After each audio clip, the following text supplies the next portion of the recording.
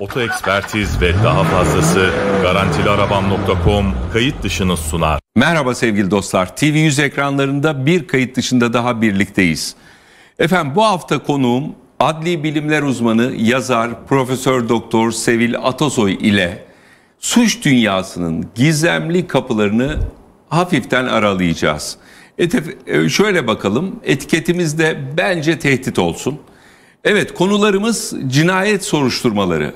Yani Sevil Atasoy deyince ilk aklınıza gelen konu bu. Fakat medyumları konuşacağız. Medyumlar kullanılıyor mu? Ben de dünyadan bazı medyumlar neler e, yapmışlar, neler başarmışlar bunları getirdim masaya. İnsanlığın gelecekteki suçlarını konuşacağız. İnsanlığı hangi suçlar daha çok tehdit edecek? Aslında biraz da bunu şunları konuşmak lazım. Belki hiç konuşulmamış konular. Gelecekte suç tespitinde teknoloji nasıl etkili olacak? Onları konuşalım. Beyni konuşalım. Beyni konuşmadan olmaz.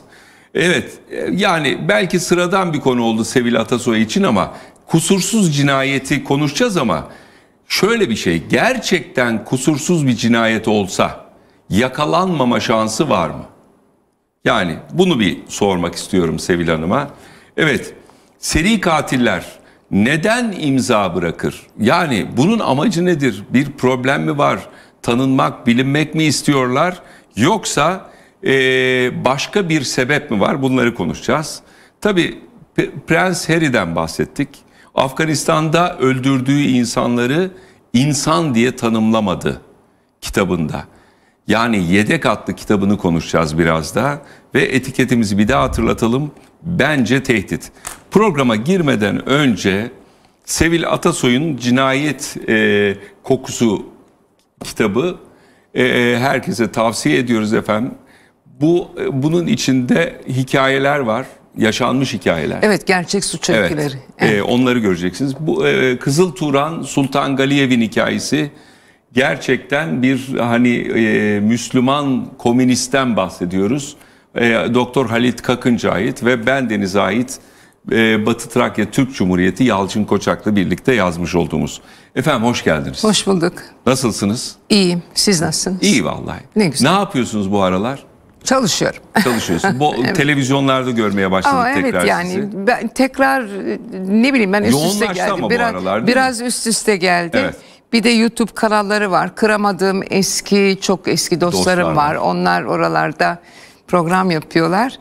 Ee, dolayısıyla ama herkesin yani her yiğidin bir yoğurt yiyişi vardır. Herkes başka şeyler soruyor. Ben hep aynıyım ama Evet. o kadar farklı şeyler soran oluyor ki ondan da ben Bakalım keyif biraz da alıyorum. kayıt dışı Evet. sorular soralım Evet, size. Biraz evet, farklı olsun. evet. Şimdi aslında basit basit girelim. Girelim. Kolay sorudan gidelim. Diyelim ki yani suç diye bir şey var. Evet. Şimdi suç kime göre, neye göre suç? Evet. Yani bunu bir tanımlar mısınız bize? Bir de Yani- insanlar kendilerini eskisi gibi suçlu yani vicdanda yaşadıkları bir hani olgudan bahsetsek. Bunlar gittikçe vicdanda azalıyor mu insanlarda? Nasıl görüyorsunuz? Şimdi bu sorduğunuz şeyde birkaç şey var tabii Evet. kendi içinde birkaç e, e, alt başlığa ayırmak gerek. Bir kere bir ülkenin yasalarında yer alıyorsa bir eylem e, o suçtur. Yasada yoksa eğer suç değildir. Ve e, yani dünya genelinde bütün ya- e, ceza kanunlarında adam öldürmek suçtur. Yani hiçbir ülkede adam öldürmenin cezalandırılmadığı bir durumla karşı karşıya değiliz. Şimdi şey dediniz, dediniz ki yani yasada varsa illa yasada olmasına Evet. gerek var mı? Evet ceza alabilme, yargılanabilmesi Yani için. suçu siz ceza alınacak Evet. bir şey, vicdani bir suçu nasıl görüyorsunuz bu arada? Öyle bir şey görmüyorum. Görmüyorsunuz, ben, tamam, Ben, okey. ben görmüyorum. Yani Tamam. varsa orada bir şey karşılığında bir yaptırımı onu e, suç olarak tanımlamış o ülkenin e, yasaları. Dolayısıyla bizler de bir suç işlenmiş midir ve kim işlemiştirin cevabını arayan insanlarız. Öncelikli olarak ama orada bir suç var mı diyerekten tabii ki onu onu inceliyoruz. Çünkü suç zannettiğiniz şeyler suç olmayabilir ya da e, suç değildir canım yaparım di- dediğiniz halde yine de onun karşılığında bir Yani yasada bir vardır. tanım olması Olacak. lazım Yoksa- ve de diyorsunuz ki yoksa olmaz. bir ceza Olmalı. Bir şey yok. Bir lazım. yaptırımı Evet. olmalı karşısında. Ee, dediğim gibi sadece adam öldürme e, her tarafta universal bir suç ama bunun dışında diğerleri değişir. Yani bir yerde suç olan başka bir ülkede suç değildir mesela. Çok da vardır Evet. aslında bunlar. Şimdi hani genel itibariyle baktığımız zaman suç konusunda e, ben şimdi ortada kalıyorum. Niçin? Şöyle bakıyorum yani bir kere insanın kendisiyle yaşadıkları yani yasada vardı fakat bir suç işledik kimse bilmedi. Suçlu muyum değil miyim? Evet, e, yasalara göre suçlu değilsiniz. Değilsin. Şimdi Değilsiniz. e, şu anda gençlerin biraz da gençlere de konuşalım. Evet. Her, biraz farklı konular konuşalım dedim ya. E, yani insanın kendi içindeki vicdanıyla ilgili bir problemi hiç siz kale almıyor musunuz? Öyle mi anladın Yani hocam? o o yaptığı e, işten çok rahatsız oluyor. O yaptığının bir suç olduğunu biliyor. E, ve de e, yakalanmamışsa kimse de görmemişse. Benim konum değil diyorsunuz. Öyle mi Hayır anladın? yani vicdanen gitsin bir karakola ben şunu yaptım desin yani ve biter. Yani yoksa sussun otursun ölünceye kadar. Şimdi sevgili dostlar şöyle bir şey oldu. Yıl 2000'lerin başları olabilir. Sevil Hanım daha iyi söyleyecek bize.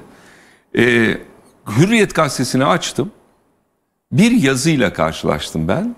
O da yani bir ölü yakma töreni.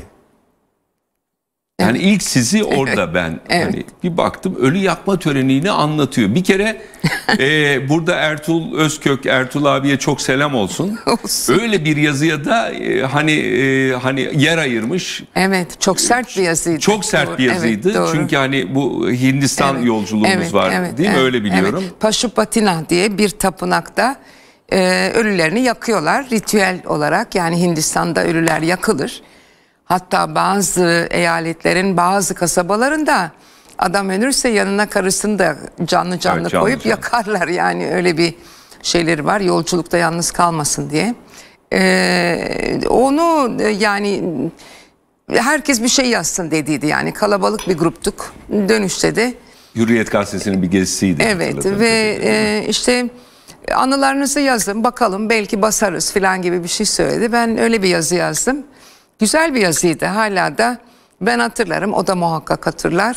Birçok insan da hatırlar. O gün için ben de öyle bir yani Allah Allah nasıl izin vermişler böyle bu çünkü sert bir Evet yazı. ama o zamanlar çok sert Evet. şeyler yazıyorduk. Yani e, o, o hem gazetede yazıyorduk hem televizyonlarda çok sert şeyler konuşuyorduk. Yani e, tartışma programlarında suç bağlamında onu demek istiyorum. Yani çok ileri saatlerde yapıldığı takdirde çok rahat konuşuluyordu. Yani 11.30-12'den sonra ben sabaha kadar program yaptığımı bilirim yani. Evet. Şimdi şöyle şöyle bir baktım.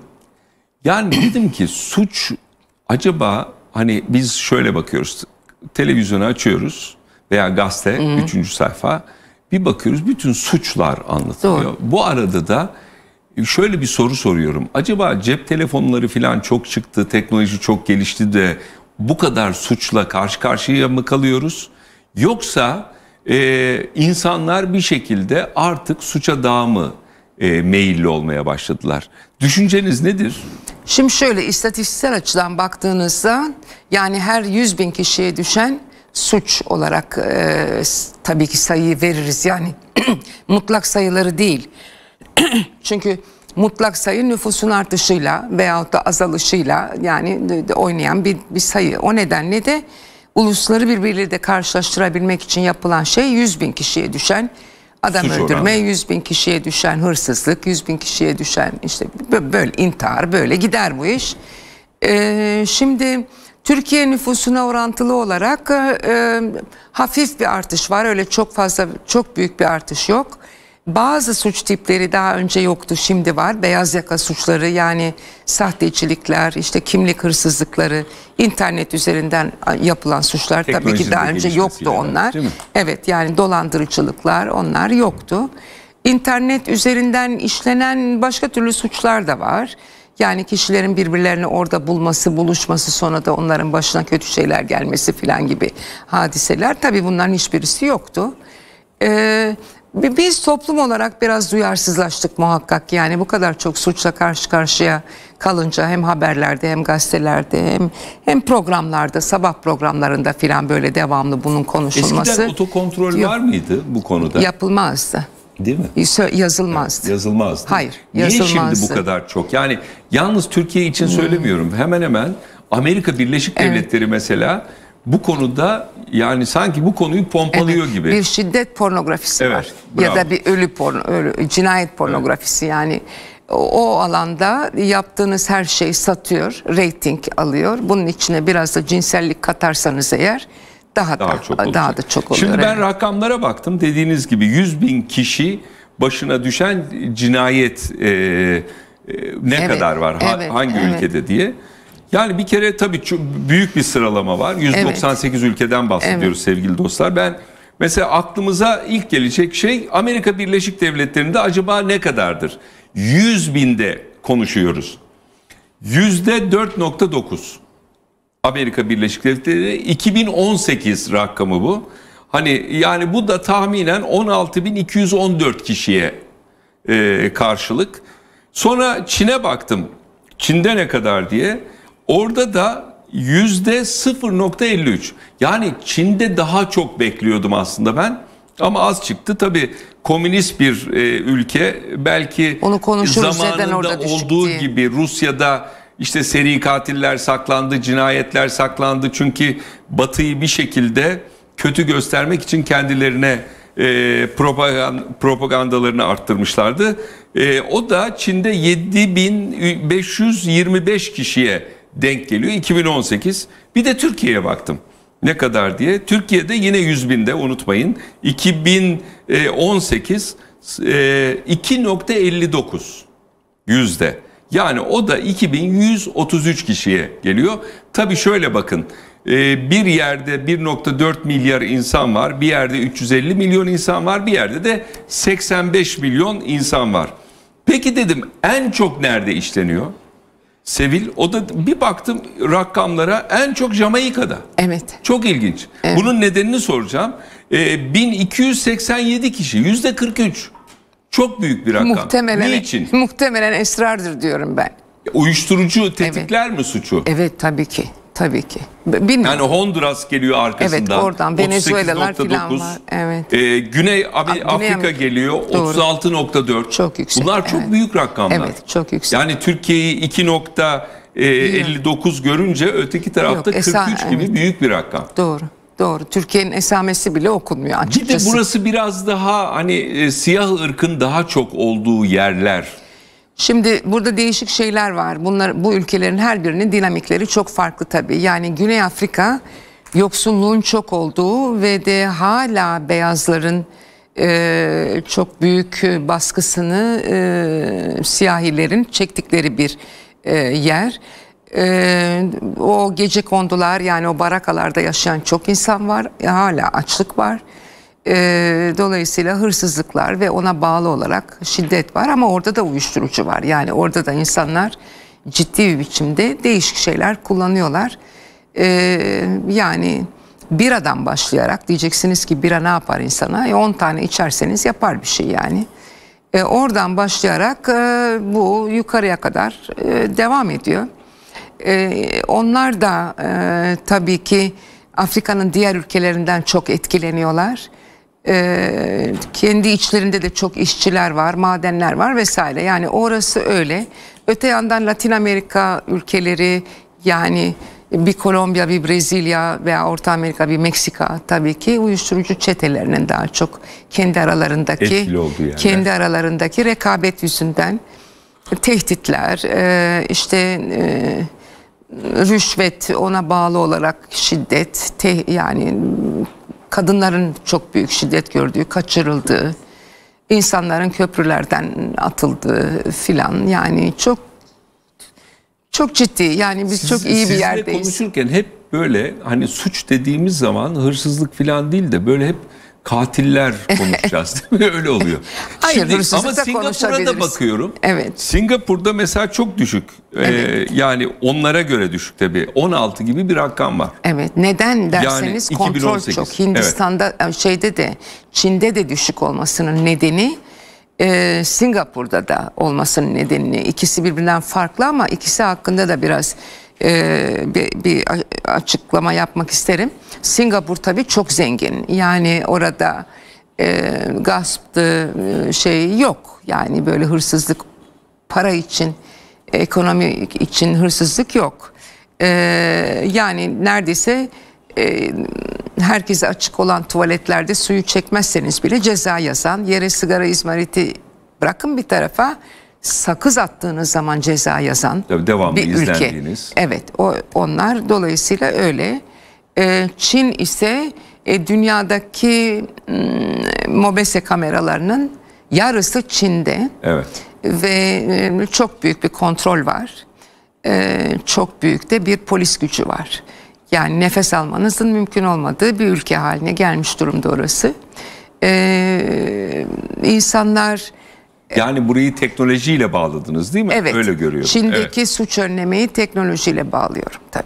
Çünkü komünist sistemin olması herhalde çok Yani buluyorlar. Büyük çok da mü? çok da yayınları var. Ha yani şöyle yani Çinlilerin e, suç önlemeyle ilgili ve de suçluyu bulabilmeyle ilgili alanlarda yaptıkları e, çok sayıda araştırma var. Çok sayıda üniversite mensubu var, akademisyeni var yani çalışan E, ve muazzam bir kontrol var. Şöyle ki yani bir e, e, Karamay diye mesela Uygur bölgesinde bir kasaba gibi bir şey var. Orada e, şoförü olmayan devriye araçları dolaşıyor. Yani tamamen otomasyonda bir devriye sistemi var. Bu küçük e, siyah beyaz otomobilcikler böyle şehrin içinde dolaşıyorlar. Üstlerinde şey var tabii alıcılar var 360 derece dönüyor. Yüz tanıma var herkesin yüzünü e, depoluyor. Herkesin sesini, yürüyüşünü, e, işte bırakın gözünün rengini, kulağının şeklini Peki filan. burada şöyle bir soru geliyor. Katil tipi var mıdır? Hayır, hayır. Yani Hiç. böyle Öyle bir şey mesela şu e, şeye baktığım zaman e, biraz sonra bu konulara da gireceğiz ama farklı Evet. açıdan konuşacağım. Mesela seri katillere de baktık yine rakamlarda. E, tabii ülkenin kendi yapısına göre, sosyoekonomik duruma, durumuna göre, sosyo-kültürel durumuna göre değişebilir ama Amerika Birleşik Devletleri'nde e, 350 milyonda 50 kişi seri katil var. Düş- diye- dolaşıyor, dolaşıyor. Dolaşıyor diye Evet, söyleniyor. evet. Bu rakamı Türkiye'ye baktı uygularsak yani birebir Evet. tabii aynı sosyoekonomik ve kültürel ülke olsaydı 12 rakamı çıkıyor. Yani şu Evet. anda Türkiye'de 12 tane seri katil, Dolaşıyor. Amerika'da da 50 tane seri katilin olması gerekiyor. Doğru. Rakamlara göre. Bu Evet. bilimsel bir araştırma yapmışlar. Aynen. Şimdi burada şunu sormak istiyorum size. Ee, dediniz ki hani böyle bir seri katil veyahut katil tipi yoktur ama bakıyoruz hani incelemelere baktığım zaman ya böyle biraz astroloji falan da yapıyor. En çok Başak Burcu katil çıkıyor. Niçin mesela? Onu bilme, o kısmını hiç Evet. anlamam. Yani orada hiçbir şey bilmiyorum. Yalnızca bildiğim bir iki bir şey var. Yani bu seri katil meselesinde.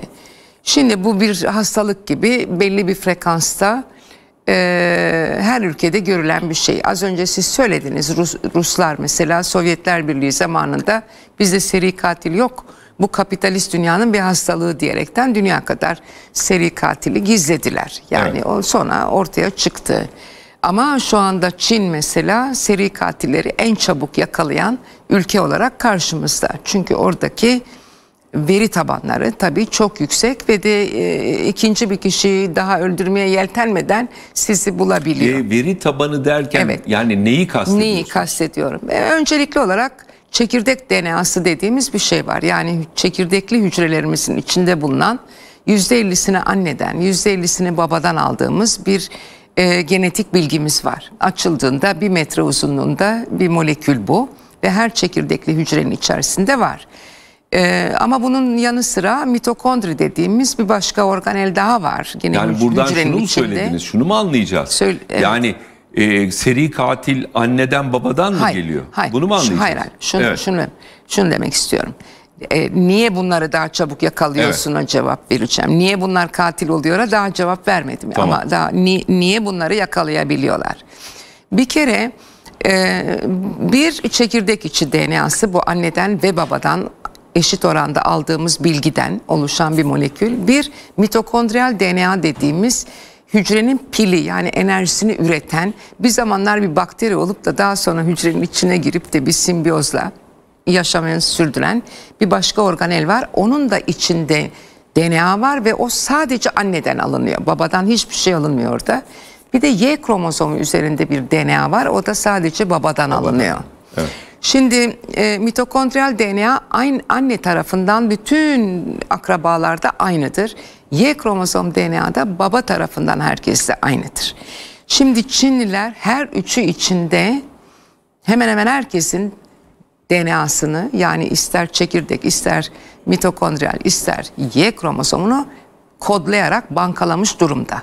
Yani siz herhangi bir yerde herhangi bir yere dokunduğunuz anda Şimdi artık yani semen bıraktım, kan bıraktım, tükürük bıraktım yok öyle bir şey. Yani dokunduğunuz anda oradan DNA çalışabiliyor ve o DNA'dan da sizin kim olduğunuzu bulabiliyor.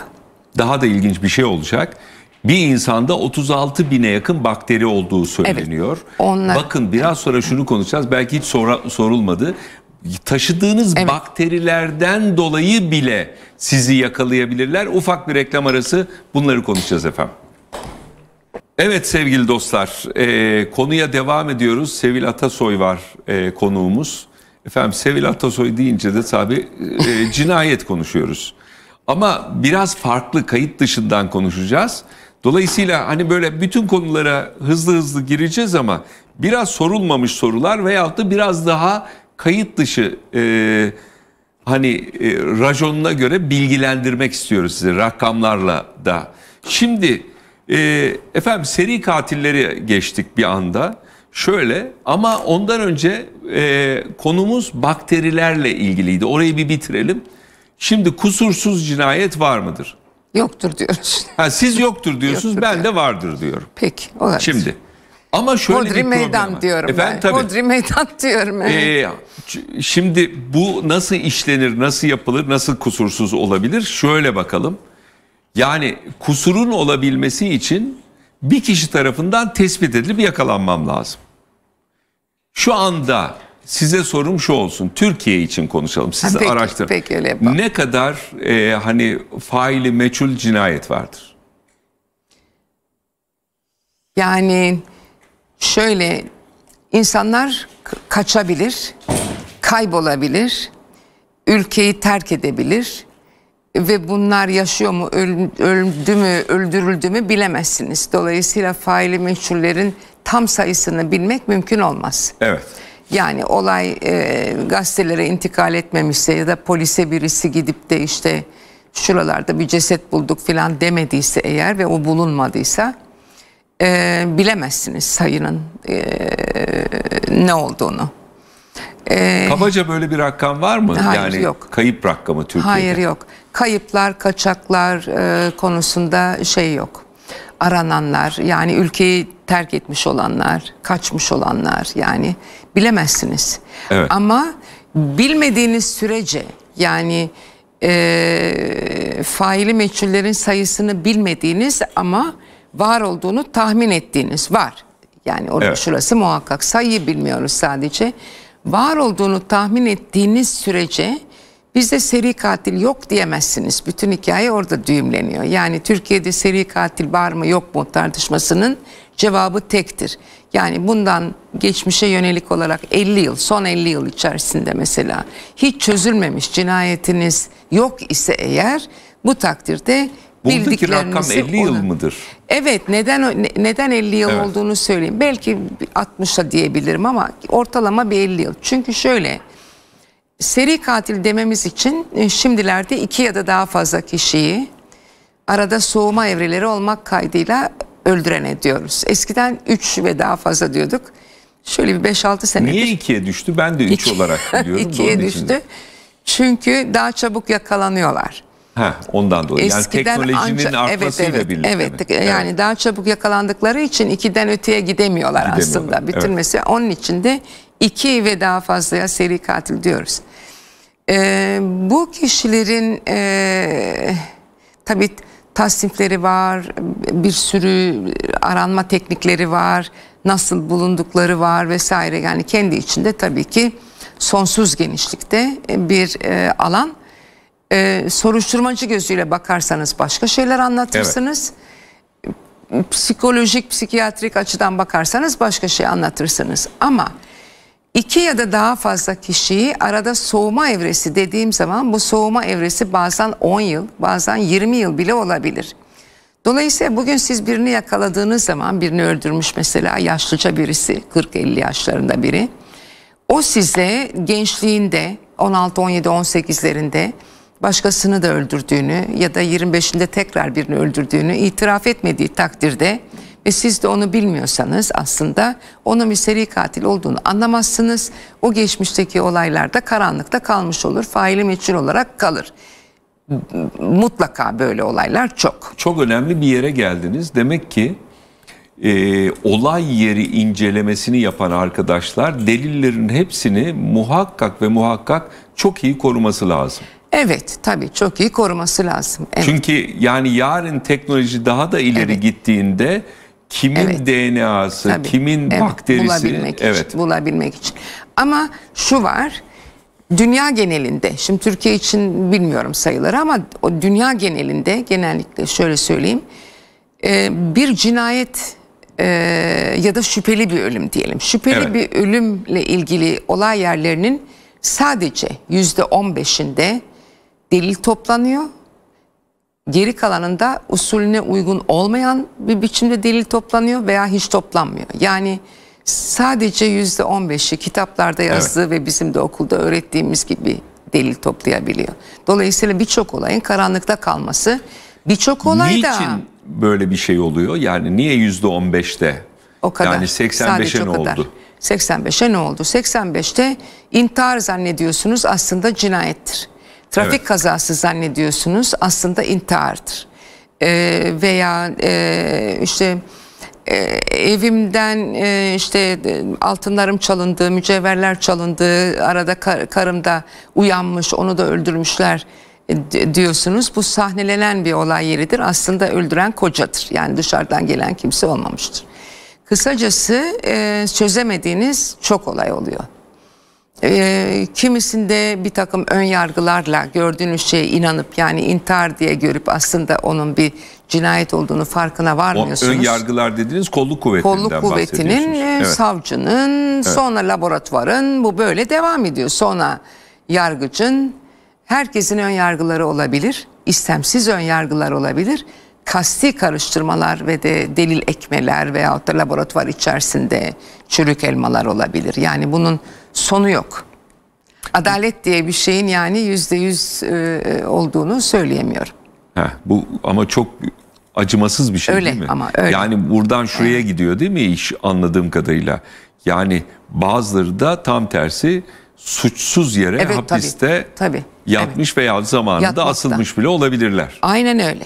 Aynen öyle. Bu bu konuda mesela bir takım rakamlar var elimizde. Yani Türkiye için bilmiyoruz ama belli bir tarihten sonra 90'lardan sonra yani Amerika Birleşik Devletleri için biliyoruz.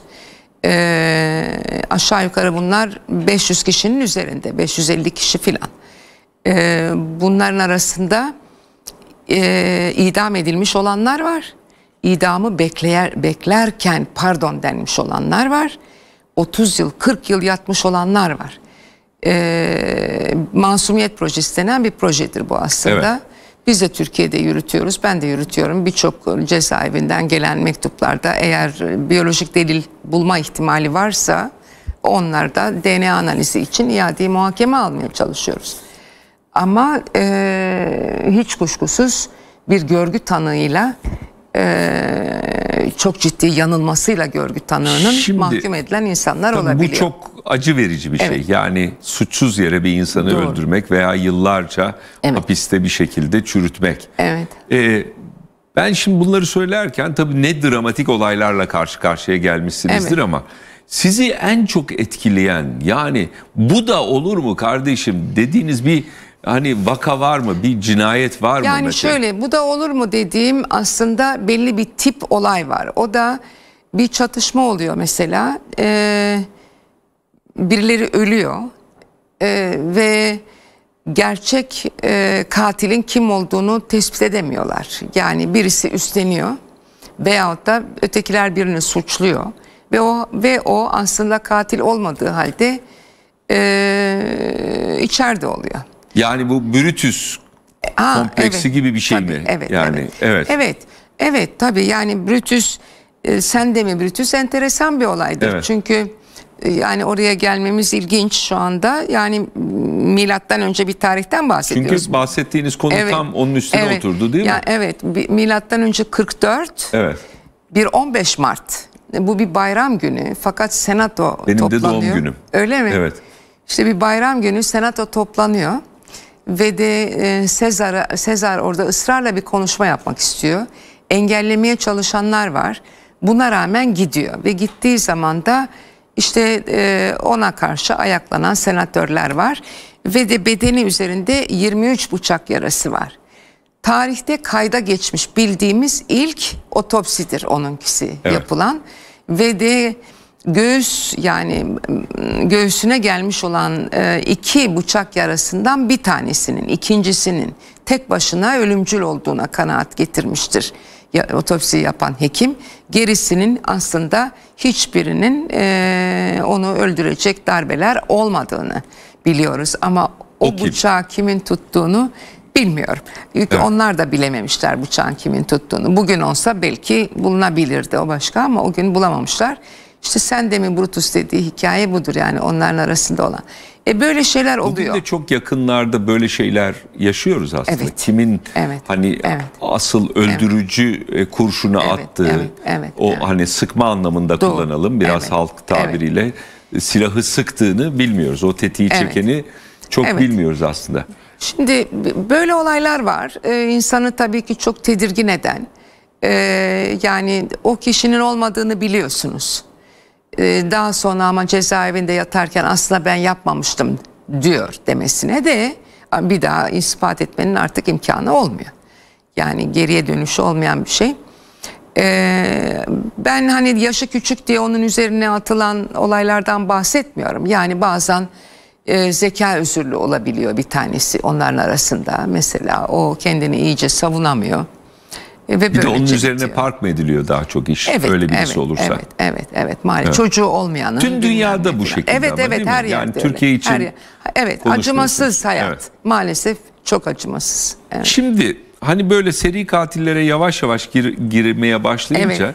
sizle hiç konuşulmamış bir şey konuşalım. Belki konuşulduysa da ben bilmiyorum. Bilmiyorum, evet. Şimdi efendim hep seri katiller konuştuğumuz zaman biz bende kocaman bir liste var. Belki ben 10 defa bir seri katil programı yapmışımdır. İşte Charles Manson'dan tutun da işte e, listemiz o Ted Bundy'ye kadar devam eden işte bir yıl şey Türkiye'de işte Evet. çivicisinden marangozuna kadar devam eden bir şey. Fakat Evet. hiç konuşulmayan bir şey var. Ben tarihe baktım. Yani ancient e, daha çok e, geçmişteki e, seri katiller kim diye. Evet. Şimdi buraya baktığımız zaman biz şimdi hani e, genelde e, şu andaki veya 1900'ler sonrası çünkü kayıtlara geçtiği Tabii, için tabii, söylüyorum. tabii. Baktığımız zaman şöyle görüyoruz. Adam en fazla öldürmüş öldürmüş 50 kişi öldürmüş Doğru. oluyor bildiğimiz. Doğru, doğru. Fakat tarihe bakıyorum. Şimdi elimde kocaman bir liste var. Mesela 1566 bu yazılı kaynaklardan okuyorum efendim. Peter Niers diye bir adam 554 kişi öldürüyor. Ardından bakıyorum hani herkesin bildiği vampir diye adlandırılan Evet, evet, evet. Elizabeth Botry'den bahsediyorum. Yani Banyoda, 1585 kanlı banyoda 1610 yıllarından bahsediyorum. Macaristan'dan bahsediyorum. Efendim tahmini öldürdüğü kişi 650 ve üstü. Erkekleri Dikkat. öldürmüş ama. 650 ve üstü. Şimdi ya elimde o kadar büyük bir liste var ki 19'u yani şöyle bakıyoruz 1900'lerden geriye gittik tabii. Ee, Catherine Mann Wiesen diye bir kadın var 1600-1679 efendim rakam ne biliyor musunuz? Yani e, işkence altında binden fazla siyah insanı öldürüyor ama e, kabullenilmiş ve bulunmuş rakam 2500 kişi. Bir kişi. Temizlik yani te- Ya, yani böyle bazı mesela Eşkıya Bahram diye birisi var 931 kişi öldürmüş. Haydutlar Kralı diye geçiyor. E, Patrick Cannon diye birisi var. Çetesi 400, 440 kişi öldürmüş. 1802'de e, Del, Del Marva e, yarımadasındaki siyahi insanları öldürmüşler. E, özgürlüğe giden, özgürlüğe kaçan siyahi insanları. Öyle büyük bir liste var ki önümde John yine Johnson diye bir adam var. John Johnson veya Johnson diyorlar bu adama. Bu adam e, karga katil diye biliniyor ve öldürdüğü kişi sayısı minimum 300. 300 kişi tespit edilmiş. Adam diyor ki itiraf ediyor. Tamam beni öldüreceksiniz ama ben 800 kişiyi öldürdüm diyor aslında diyor. Yakın zamanda böyle itiraf eden 64'lük bir de bir evet. e, kişi vardı. Evet, evet, evet. Rusya'daydı Rus, değil mi? Öyle evet, hatırlıyorum. Satranç katili. Şimdi bir kişiden daha bahsedelim. Çünkü liste çok uzun. E, Emala Boyacı diye birisi var. E, bir bakım evinde çalışan bir e, hasta bakıcı bu hanımefendi. Ve e, 400 tane çocuk boğmuş. Ve öldürmüş bilinen 400 tane. Tabii. Çünkü evet. sonradan araştırıyorlar, bakıyorlar e, ölülere. Hepsi aynı Aynen. şekilde öldüğünü e, anlıyorlar ve ne diyorsunuz bu? Yani şunu söylemek istiyorum. E, niye bu kadar çoktu? Yani acaba hani biz yakalıyoruz şimdi siz çok güzel bir şey söylediniz. Artık ikiye düştü dediniz ya Ertan. Evet, ikiye evet, düştü evet, bu. Evet, Üçten evet. ikiye. Yani anlıyoruz ki e, o 1600'lerden burada buraya geldiğimiz zaman yani 2000 kişi düşmüş. Doğru, doğru, doğru. Şimdi şöyle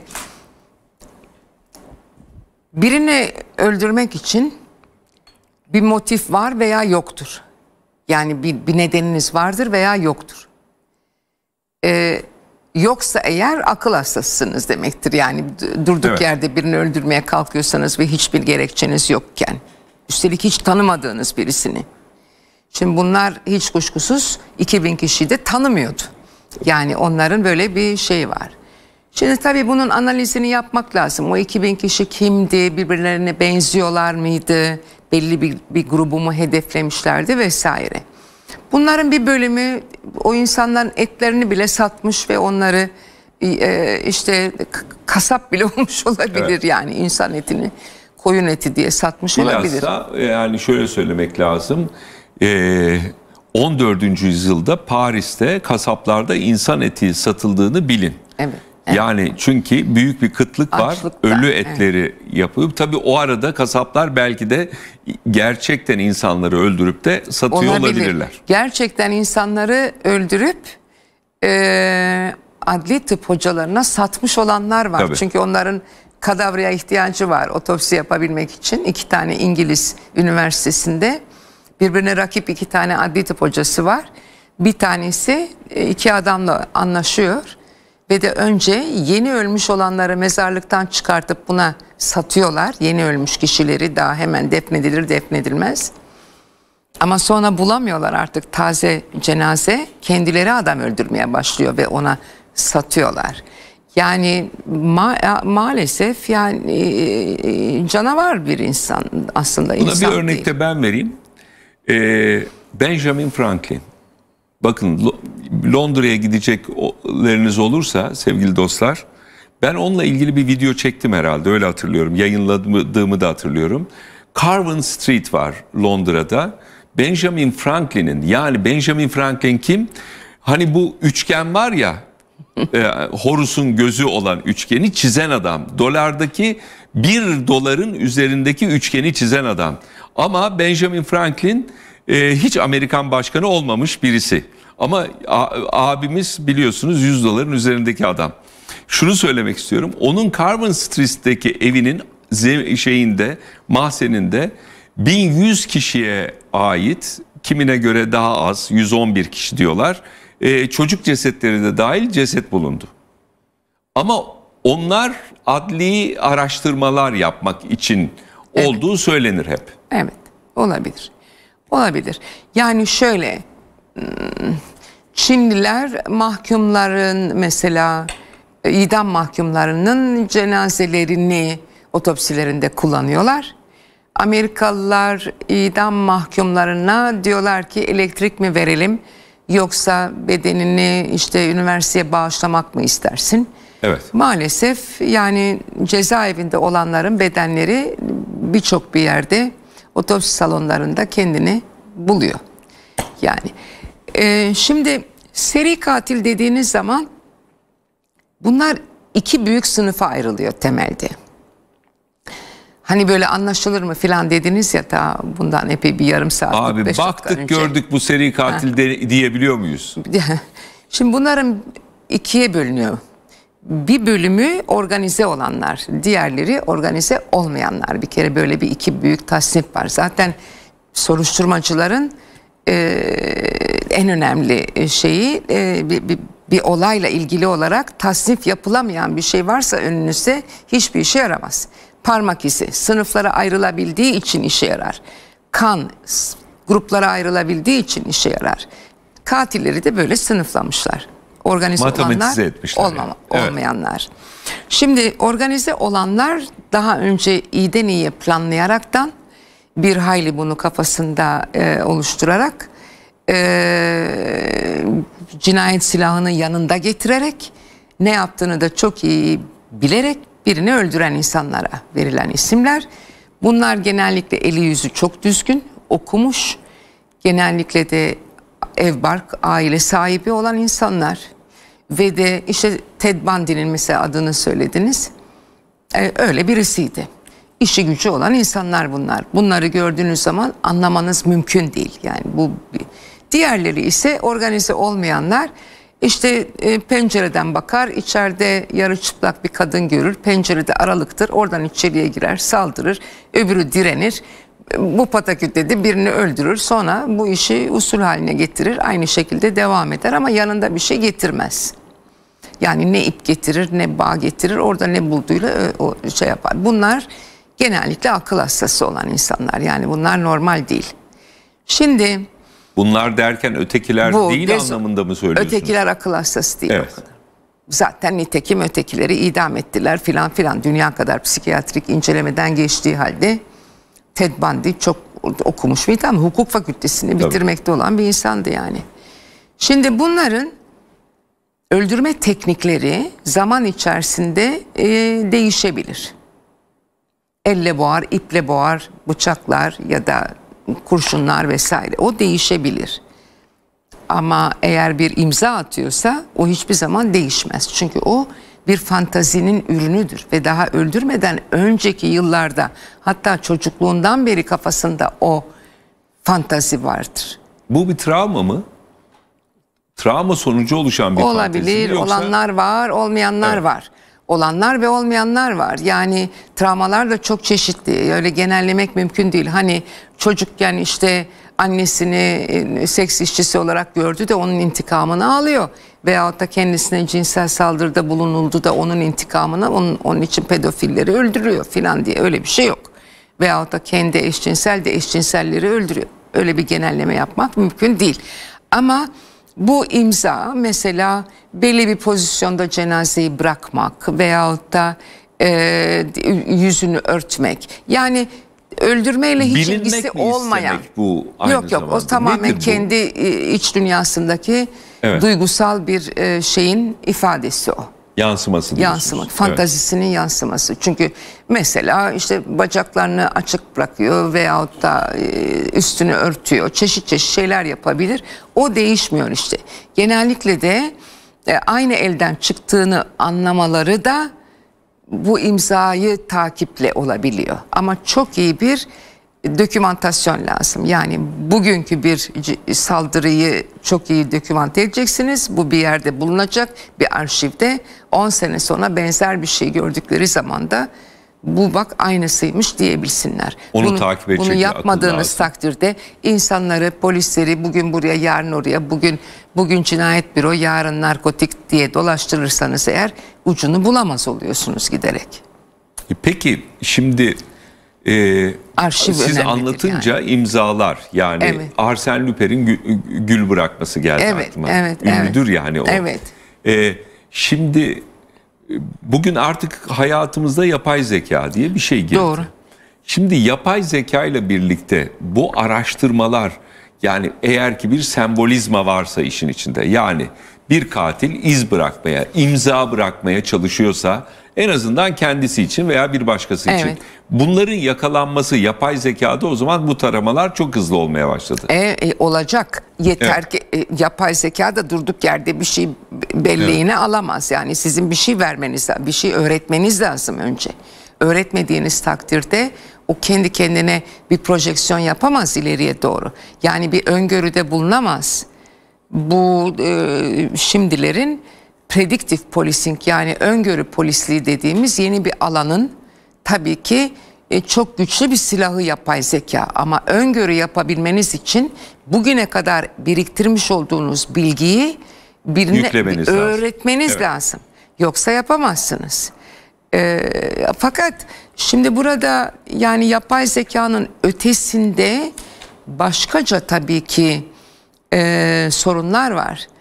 E, teknolojinin gelişmesiyle birlikte karşımıza çıkacak olan başkaca sorunlar var.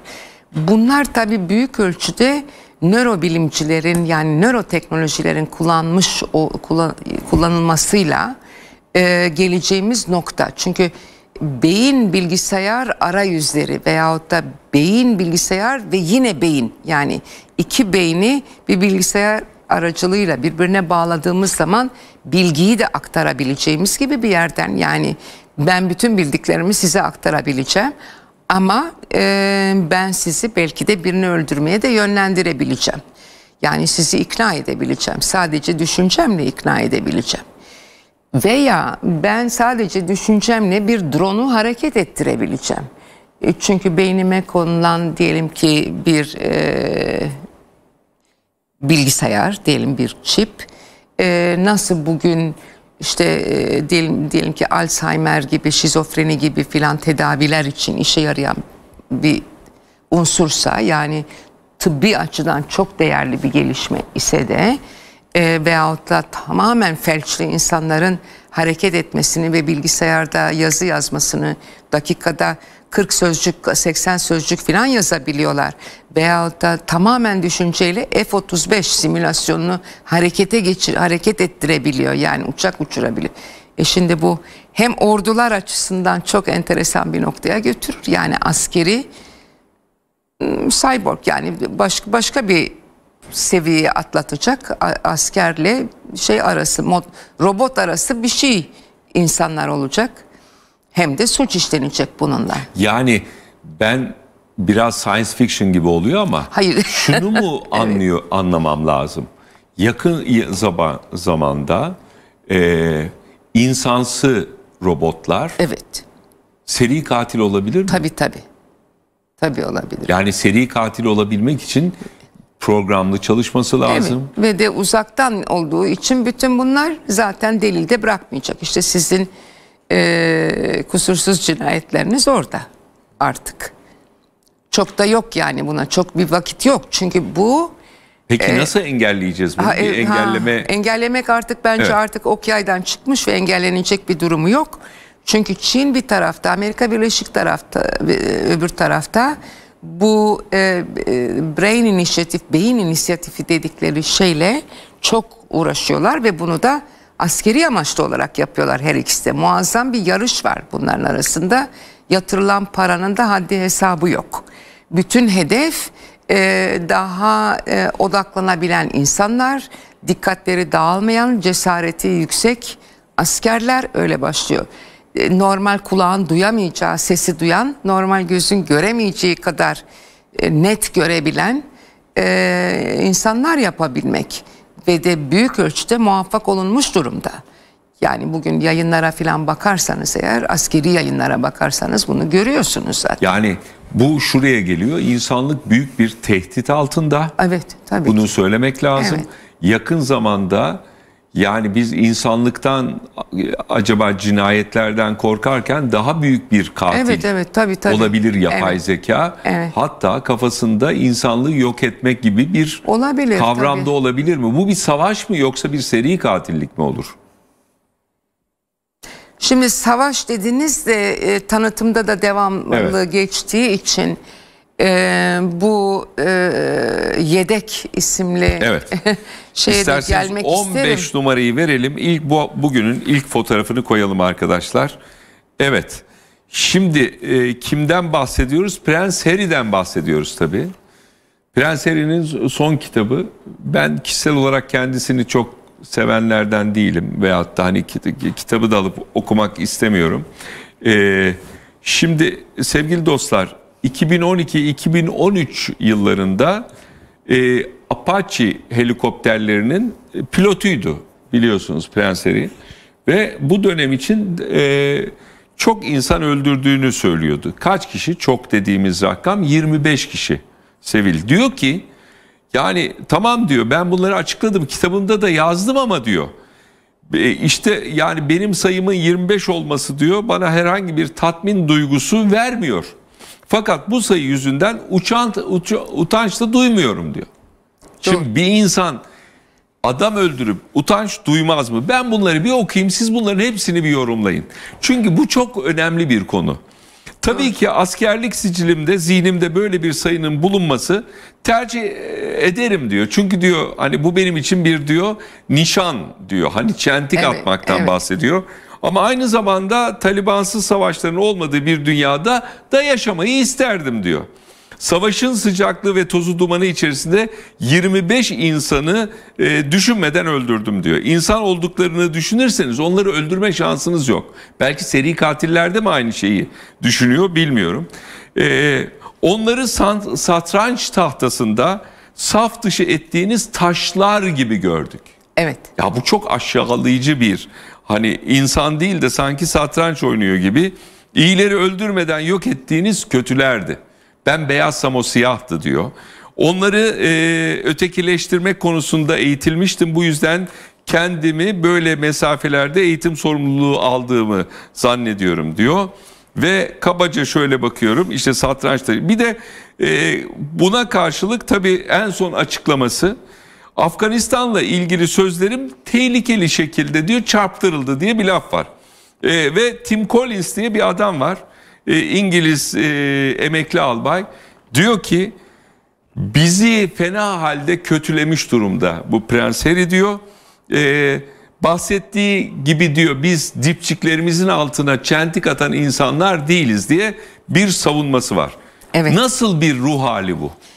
Şimdi bir kere kitabın adı zaten spare yedek. Evet.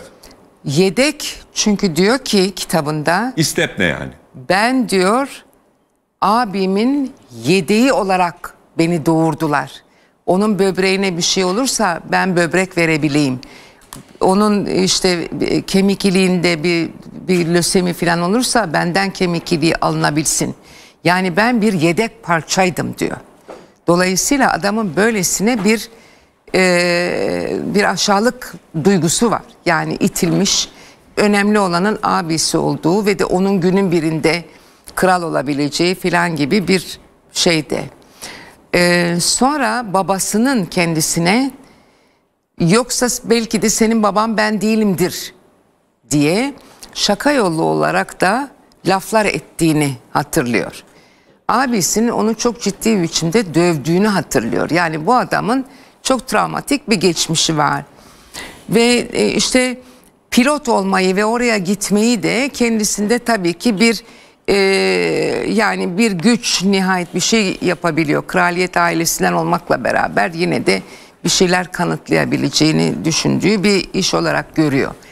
Bu e, öldürme meselesinde de kendisi bunu yorumluyor neticede kitabında ve diyor ki biz böyle yetiştirildik bu orduda böyle öğretilir diyor. Savaşa gidecek olan askerlere bu öğretilir karşı tarafı insan gibi görmeyeceksiniz. Onlar düşman ve de onları öldüreceksiniz diye bize eğitim verildi diyor. Bu çok iyi bir eğitimdi ben de o şekilde diyor. Şey benim gibi herkes aynı şeyi düşünüyor diyor. Şimdi bu albay e, yanlış hatırlamıyorsam Irak işgali sırasında orada yaptığı bir konuşma var. Bu albayın yani e, İngiliz askerlerini Irak'a doğru şey yaparken en son uçaklara bindirmeden önce yaptığı bir konuşma var. Ve o konuşmada Oval ofiste duvarda asılıymış. Amerikan başkanının ofisinde bir İngiliz komutanın e, şeyi var, konuşması var. Ben onu dinledim. Hakikaten çok duygusal bir adam zaten. Yani diyor ki Iraklıları bir şey olarak görmeyeceksiniz. Ee, öldürülecek birer e, düşman olarak görmeyeceksiniz. Biz buraya bir görevle geldik. Bu görevi yapacağız. Öldürürseniz de saygı duyarak defnedeceksiniz diyor. Şimdi tabii öyle bir adamın verdiği beyanatta tabii bununkisi gibi olur. Yani e, çok farklı iki görüş. Belki de eğitim de çok değişti. Ordunun içindeki eğitim de çok değişti. İngiliz ordusunda belki onun t- albayın zamanında daha hümanistiler şimdi Ama değiller. burada şöyle bir şey yok bu. Şimdi kraliyetten bahsediyoruz. Evet. Bu çocuk yedek olmasına rağmen yani ben ona istepne diyorum yedek Evet, demeyelim. evet. İstepne olmasına rağmen şöyle bir problem var. Kral yani abisi ölebilir. Yerine birisi lazımsa bu olacak. Evet. Aynı zamanda Tabii. tam tersi yedekliğin böyle e, çünkü İngiliz kraliyet e, hani e, soyunda bu değişimler hep olmuştur. Tabii. Hatta sevgilisi yüzünden Tabii. e, hani kral kraliyeti bırakan Terk tabii, tabii. Ne insanlar kral vardı, gibi. evet. Yani şimdi şunu söylemek istiyorum ama bunu yani bu çocuk böyle nasıl bir travmadır ki? Demek ki bunu buna söyleyen olmuş ya bir dadısı söyledi ya birisi söyledi yani sen o e, be- belki kendisini sevilmeyen bir çocuk olarak gördü hep ve hep bir yedek parça olarak gördü yani bir stepne olarak gördü. Şimdi bu, bu nasıl bir ruh? Yani bu böyle bir e, adamdan yani bu adam eninde sonunda diyor ki ben satranç tahtasındaki piyonlar, Piyonlar gibi, gibi öldürdüm diyor. diyor. Benim için Evet. hiç fark etmez diyor. Yani seri katillerde de aynı e, duygudalar mı? Yani e, onların da hani eninde sonunda ortada bir hani e, şey var, olay var. Birisini kesiyor, asıyor. Hatta asite döküp yakıyor. Doğru ama şöyle bakın seri katillerde empati yokluğunu görüyoruz. Yani e- empati normal insanın için çok Aynı doğal şey bir değil mi duygudur. ama? Burada da empati ama, yok. Ama şöyle eğer e, savaşıyorsanız ve karşınızdaki askeri bir insan olarak ailesi var, çoluğu çocuğu var filan diye görmeye başlarsanız tetiği çekemezsiniz. Böyle bir şey yok. Siz askerlik yaptıysanız ya da yapan tanıdıklarınız olduysa tabii ki hepsi aynı şeyi söyler. Başka türlü Ama ya sizi öldürecekler ya siz karşı tarafı siz öldürürsünüz. eninde sonunda birisiyle boks maçı da yapsanız sonunda o maç yapılır ve insanlar birbirlerine saygı duyar. Mustafa Kemal'in açıklamalarında Ha, olduğu anladım. gibi. Burada siz onları piyon gibi Yani görmesini şimdi tabii şöyle insan bu, ol- bu insan yaşanmış de- olabilir Evet. ama bunu kitabında niye yazıyorsun Allah'ın adamı derler Sattı adama. işte böyle. Tamamen tükendi kitaplar. 400 Evet. bin adet sattı bir günde. O kadar para, para göz bir insan ki bunlar. Netflix'teki dizi yeter yani. Evet. Yani para kazanıyorlar. Peki e, seri katillerde bu Ha. arkadaşın bahsettiği gibi e, böyle Ha, bir o- travmalarla mı Evet.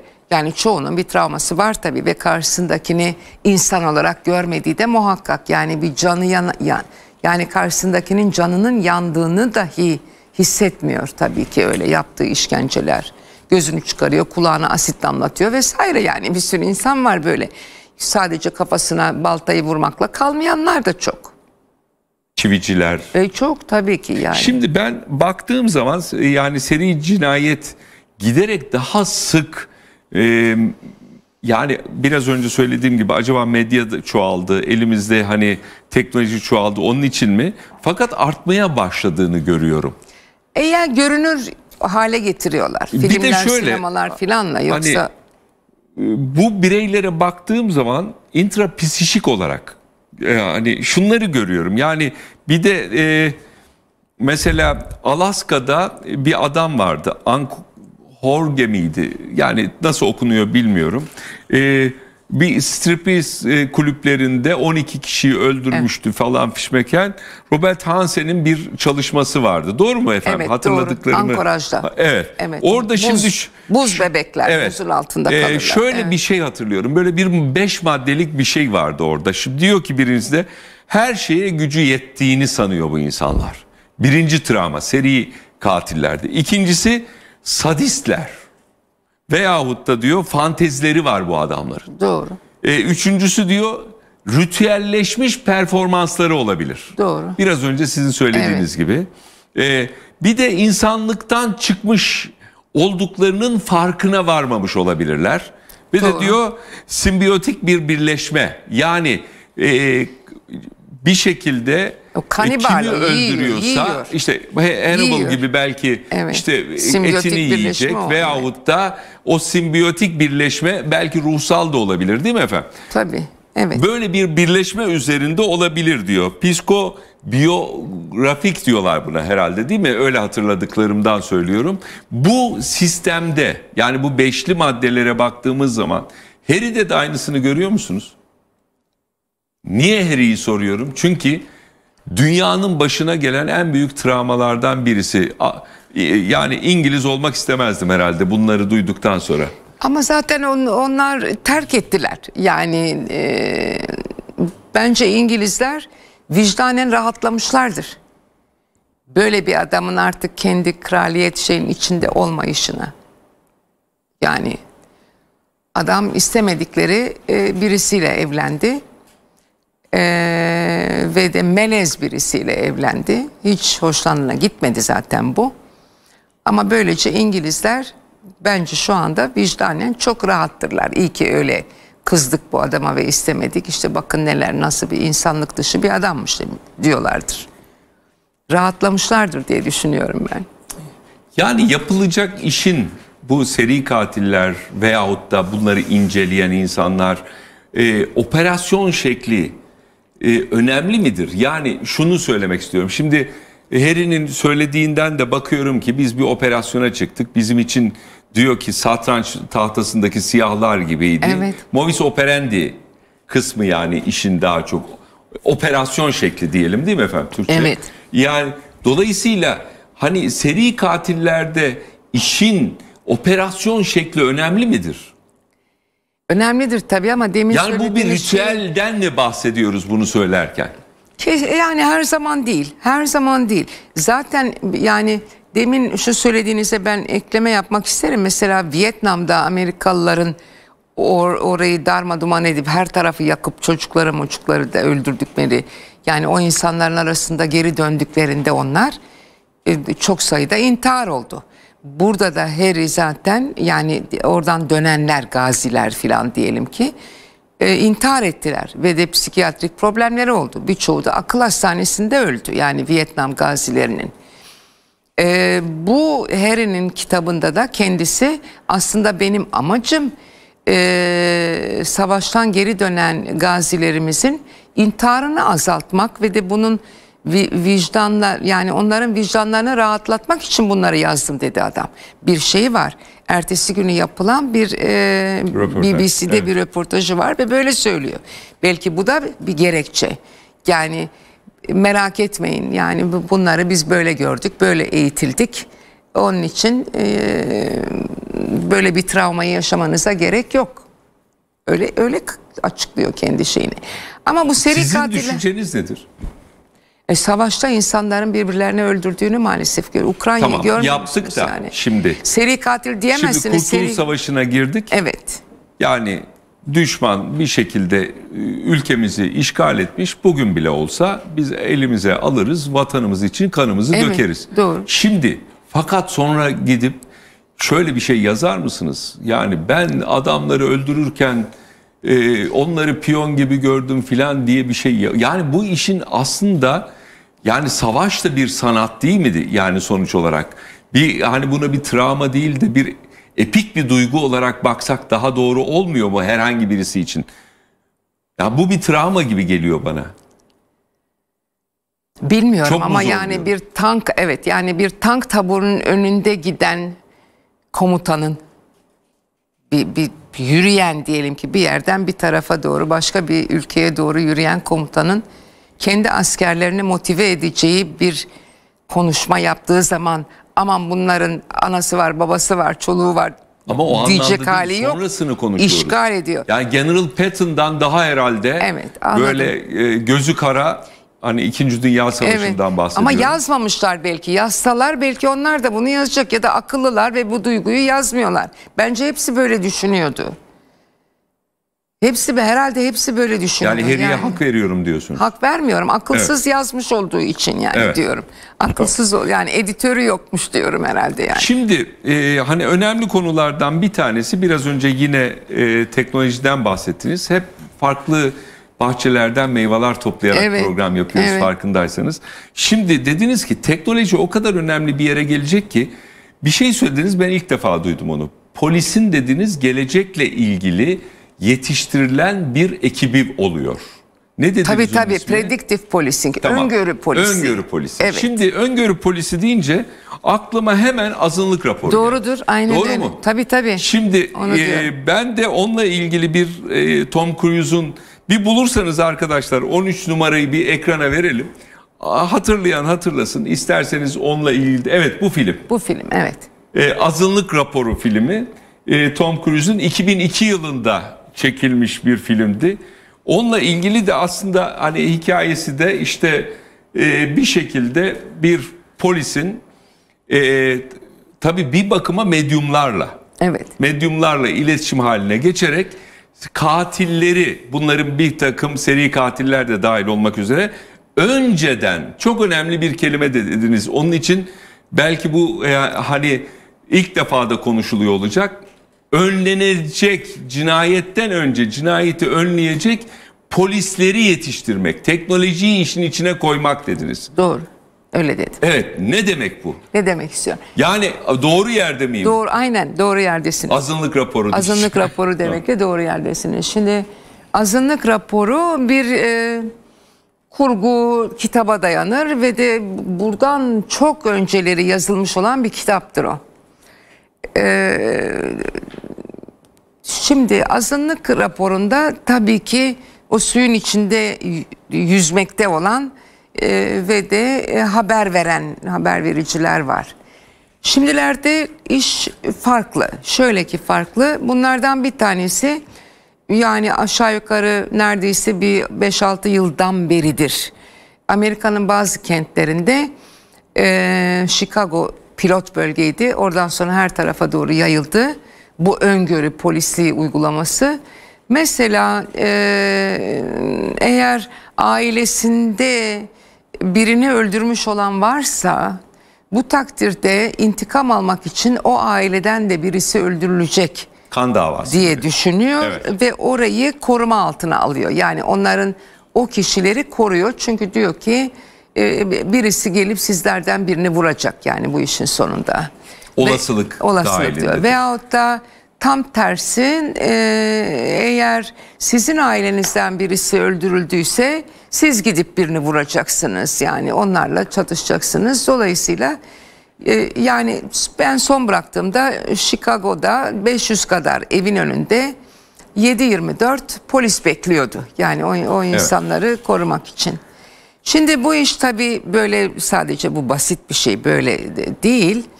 Ee, bir takım e, verileri ki aşağı yukarı son 70-80 yılın verilerini e, bir belleğe yüklediklerinde kaç yaşında hangi sorunları olan diyelim ki madde kullanıp kullanmadığı e, nerede oturduğu ekonomik durumu filan kişilerin hangi suçları işlediğine dair bir veri tabanı var. Cezaevine girenlerin cezaevine girenlerin e, cezalarını çekip çıktıktan sonra kaç yıl içerisinde yeniden suç işlediğini e, de biliyor ve hangi suç tipini işlediğini de biliyor. Şimdi böylesine milyonlarca verinin bir arada bulunduğu tabii ki bir e, şey var, bir veri tabanı var ve buna göre prediction yapıyor, öngörü yapıyor yani bir takım yazılımlarla hangi tip insanlar ne olacak ileride ve de kim onlar? Çünkü toplumunu biliyor. O yaş diliminde kim var burada oturan? İşte kaç para yapıyor, nerede çalışıyor, karısıyla arası nasıldır vesaire diyor. Bu adam suç işleyecek diyor. Ee, bugün olmazsa yarın işleyecek diyor. Veya cezaevinden çıktığı zaman insanları diyelim ki 3 yıl içinde %70'inin yeniden suç işlediğini görüyor e, böyle kritik şeyler var, dönemler var. O süre içerisinde bunların peşine devamlı bir sosyal hizmet uzmanı koyuyor. Diyor ki bunlar suç işleyecek. Cezaevinden çıkan diyelim ki adam öldürmüş olanların 3 yıl içinde tekrar suç işleyeceğini varsayıyor. Aynı suçu mu işliyorlar? Hayır yani? fark edebilir. Onları biliyor. Evet. Ne iş yapacağını biliyor. Şimdi Türkiye'de buna residivizm diyoruz. Yani yeniden suç işleme oranı. Bunun sayısını bilmiyoruz Türkiye'de. Bunu bilmediğiniz zaman zaten kişileri cezaevi çıkışında salı verirsiniz. Yani o özgürlüğüne kavuşur ve onu siz takip etmezsiniz. Bunu yapabilmek için paraya ihtiyacınız var çok. Yani bir, bir psikolog gidecek, devamlı görüşecek, bir sosyal hizmet uzmanı gidecek. Amerikan Siz ona iş bulacaksınız. bilmiyorum. Ama bu Evet. hakikat yani hayata geçiriyorlar. Ve çünkü iddia ediyorlar ki e, e, bir suç işlendikten sonra onun aydınlatılmasına ve de işte cezalandırılmasına filan vereceğim 10 dolara karşılık 1 dolarla ben önleme yapabilirim. Yani bu işlerin Evet. hepsini 1 dolara yapabilirim. Yani onda bir daha az maliyettir. Önleme diyorlar. E aynı şey uyuşturucu suçları için de geçerli. Yani önleme yapabilse Türkiye e, çok daha kolay olacak hayat. E, şu anda arzla mücadeleye, Önleme derken taleple mücadeleye şeyi uğraşmak için. söylüyorsunuz. Arzın önünü tıkamaktan bahsediyorsunuz. Arzda yani Evet. istediğiniz kadar yakalayın. Evet. E, bir malın bir e, tüketicisi tüketicisini e, tüketicisi varsa o olmazsa ötekini kullanacak. O olmazsa berikini kullanacak. Bu talebi azaltmanız lazım. Bu işte birinci de basamak önleme hizmeti budur. Yani bunu durdurabilmek. Şimdi e, bunları söylerken aklımdan da bir şeyler geçiyor. Belki konuda tam oturuyor. Şimdi dediniz ki hani suçu tanımlamak, tanımak veya suçluyu belirlemek için e, aklıma tabii e, ilk gelen şeyden bir tanesi poligraf makineler. Evet, tabii. Yani evet, evet. e, ne demek poligraf? Yani aslında yalan makinesi tam karşılığı değil mi? E, yalan makinesi diye baktığımız zaman hani çok çalışır mı çalışmaz mı bununla ilgili e, çok insan tabii hani e, hatta bir Amerikalı hatırlıyorum ben doğru mudur e, hafızamı biraz zorlayayım dört kere yalan makinesinden geçip kendisi aslında Rusya'ya çalışan Casus, e, evet. bir casustu Evet, evet. fakat dört kere yalan makinesinden geçti. Doğru. Şimdi yalan makinesi dediğiniz zaman tabii William Mont Marston'dan bahsetmemiz lazım. Yani 1893-1947'de yaşamış bir bey. Bu bey ki ne yaptı?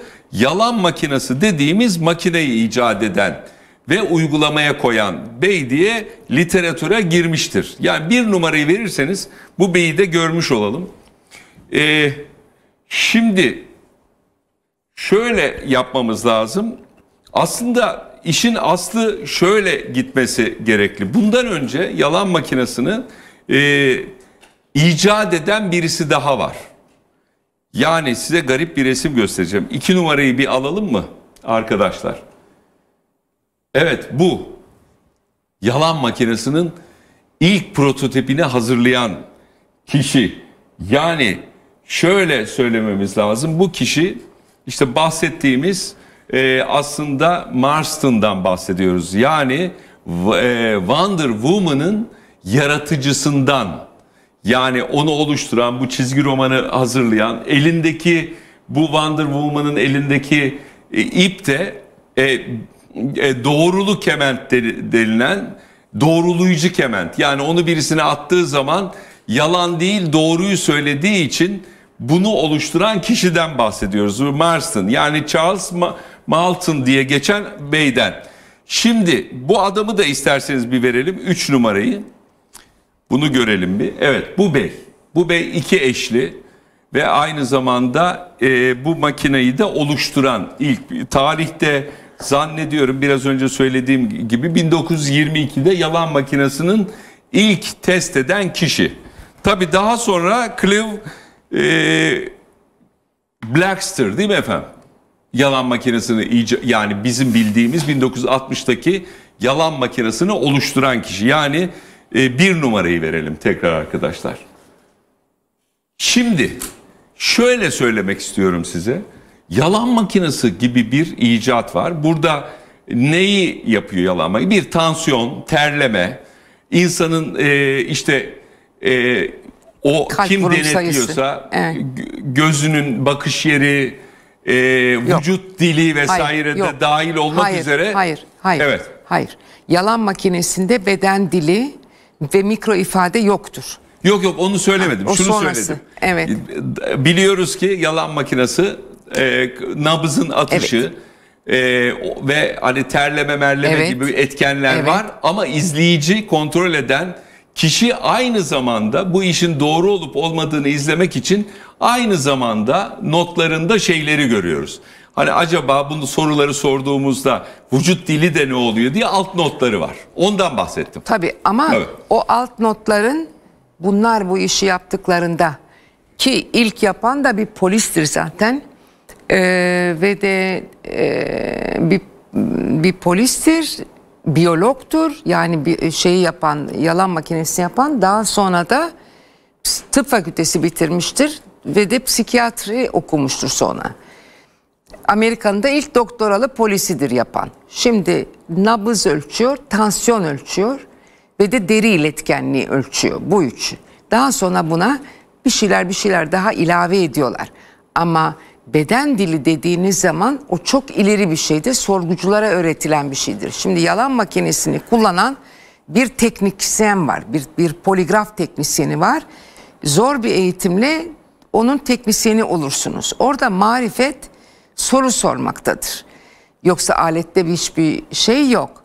Fakat Ne demek soru sormak? Ha, soru sormak şöyle. Bütün bunların baseline dediğimiz bir bir e, alt şey var. Yani kalp vurum sayısı normalde e, stresiniz yok. Normal konuşuyorsunuz. Orada bir poligraf çoklu yazıcı demek zaten. Çok yazan, çoklu yazıcı. Oradaki e, şey in, ibre belli bir aralıkla şey yapıyor, yükseltiyor kendisini. Veyahut da teriniz de o kadar. Bunun normal bir şeyi var.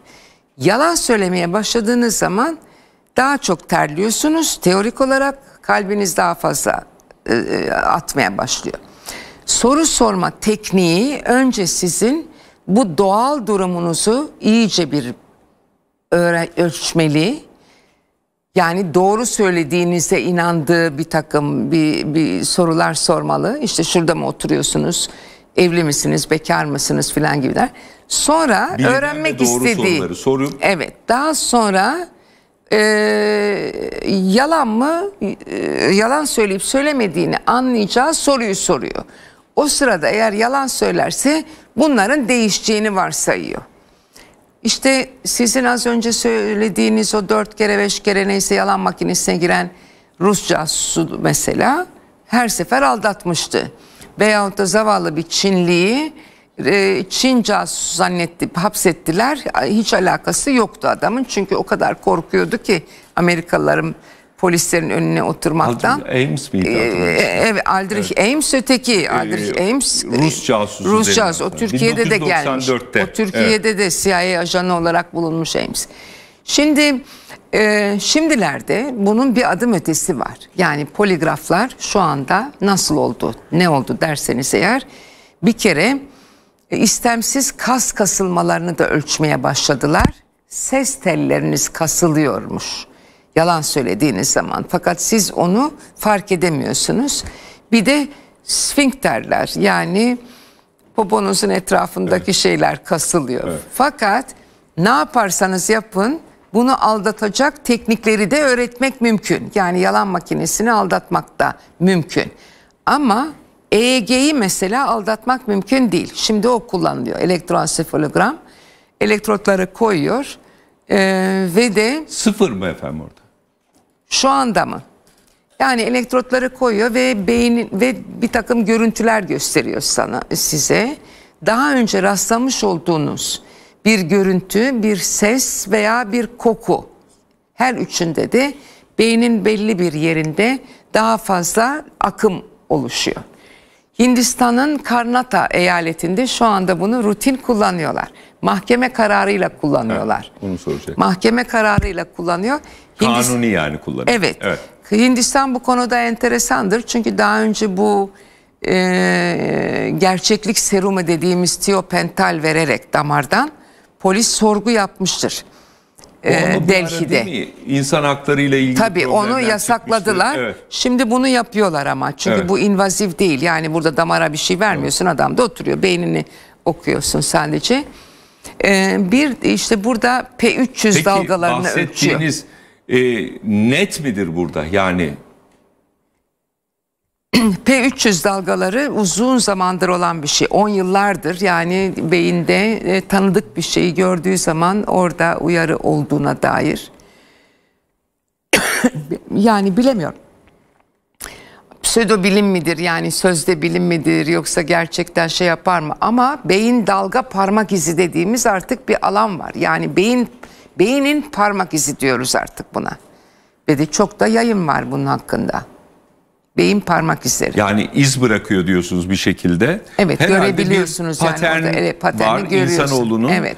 O paternin dışına e, çıktığı anda Evet yani tanıdık bir şeyi gördüğü anda karşıda e, beyninin bir yeri onu tanıdığını e, şey yapıyor. Tanımadığı şeyler geçtikçe mesela adamı bıçakla öldürmüş orada bir silah varsa eğer bir, bir reaksiyon yok. Ama bıçağı gördüğü anda bir reaksiyon var.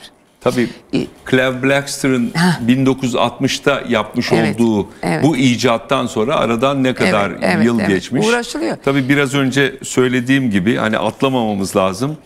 Malcolm Marston denilen adam bunu 1922'de ilk testini yapan adamdır. Düşünün yani, Ama e, hani patentini bile almadılar. Onu söylemek lazım. Patentini almak e, aslında poligrafın biraz önce söylediğim gibi Cal- Calvin Blackster'a e, ait oldu. Tabii bunları konuşurken şu da geliyor. E, hani düşüncelerin içinde. Şimdi belki konu başlıklarımızdan da bir tanesi o. E, çok konuşulmayan konulardan bir tanesi. Türkiye'de hani ben biraz psikik olaylarla da ilgilendiğim için söylüyorum. E, Türkiye'de medyumları kullanıyor mu polis? Ve de şunu biliyorum doğru mu değil mi bana da yardımcı olursanız. Yani e, eğer ki bir cinayet var. Cinayeti e, işlenmiş ve ailesi kaldı. Dünyanın her yerinde eğer ki e, bu işin çözülmesi için herhangi bir şekilde bir yere başvurulacaksa polis ailenin söylediklerini dinliyor diye biliyorum. Evet, doğru. Amerika'da bunu yaşadım ben. Evet. mi? Türkiye'de de var mı bu bilmiyorum ama. Türkiye'de bilmiyorum ama şöyle bundan 20 24-25 yıl kadar önce e, İzmir Balçova'da bir İsveç veya Norveçli bir kadın iki çocuk annesi bir kadın öldürülmüştü. E, saldırıya uğramış, cinsel saldırıya uğramış ve öldürülmüştü ve bunun katili aranıyordu. Yüzlerce insandan işte e, bir sürü kan örneği aldılar, ifadelerini aldılar vesaire bulamadılar. Sonunda bu turist olarak gelmiş bir kadındı yani. E, sonunda aile ısrarla biri İsveçli biri Norveçli iki tane medyumun Türkiye'ye getirilmesinde ricacı oldu. Bunlar da getirdiler. Yani Türkiye'ye geldi bu kadınlar. Gunnarsson mu nedir öyle bir ismi vardı yani kadının. Bulunamadı. Yani eee, onlar bir şeyler söylediler. Bizimkiler de onun dediğini yaptı. Şimdi Türkiye'de yani pek zannetmiyorum. Zaten şimdilerde dünyanın e, hiçbir polis e, teşkilatı medyumlara danışıyoruz demez. Danışmıyoruz der. Ama bir ara Amerikan polisinin medyumluk dersi aldığını dahi biliyoruz. Evet. Yani öyle de bir geçmişleri var. Çünkü çok e, medyanın böyle üzerine gidip popülerize ettiği bir, ki, bir iki tane e, başarıyla sonuçlanmış olay var. Yani medyumların e, devreye girmiş olduğu ve işte cesedin nerede bulunabileceği hakkında bilgi verdiği. Fakat bunların e, hepsinde polisin aslında gereğinden çok fazla e, ayrıntı bu insanlara anlattı ve haritalar üzerinde nereleri aradıklarını o güne kadar işaretlediğini de daha sonra öğrendik. Yani e, bunlar da konsantrasyon. Siz inanıyor musunuz? Hayır. Yok diyorsunuz. Yok diyorum. Evet. Keşke keşke bulsak diyorum Şimdi yani dedektif mi? Ne Ben tabii Psişik FBI dedektif araştırmalarına bunlara. baktım. Ee, Sevil şöyle şeyler var. Mesela e, bir kere Amerika Birleşik Devletleri NSA'nın araştırmalarında Yıldız Geçidi Projesi diye bir proje var. Bu, bu, bu projenin asıl amacı şu. e, Yıldız Geçidi ile birlikte istihbarat e, toplayabilir miyiz? Medyumlar aracılığıyla, Aracılığıyla. diye. Bununla ilgili de biraz sonra göstereceğim önemli e, kişiler oldu. Bir de tabii Amerika FBI'nin çalışmalarına baktığımız zaman da uzak izleyiciler diye bir takım oluştururlar. Biraz önce e, çok güzel söyledin onu e, ayrıntılarıyla. Yani hatta bunlar eğitim de verdiler.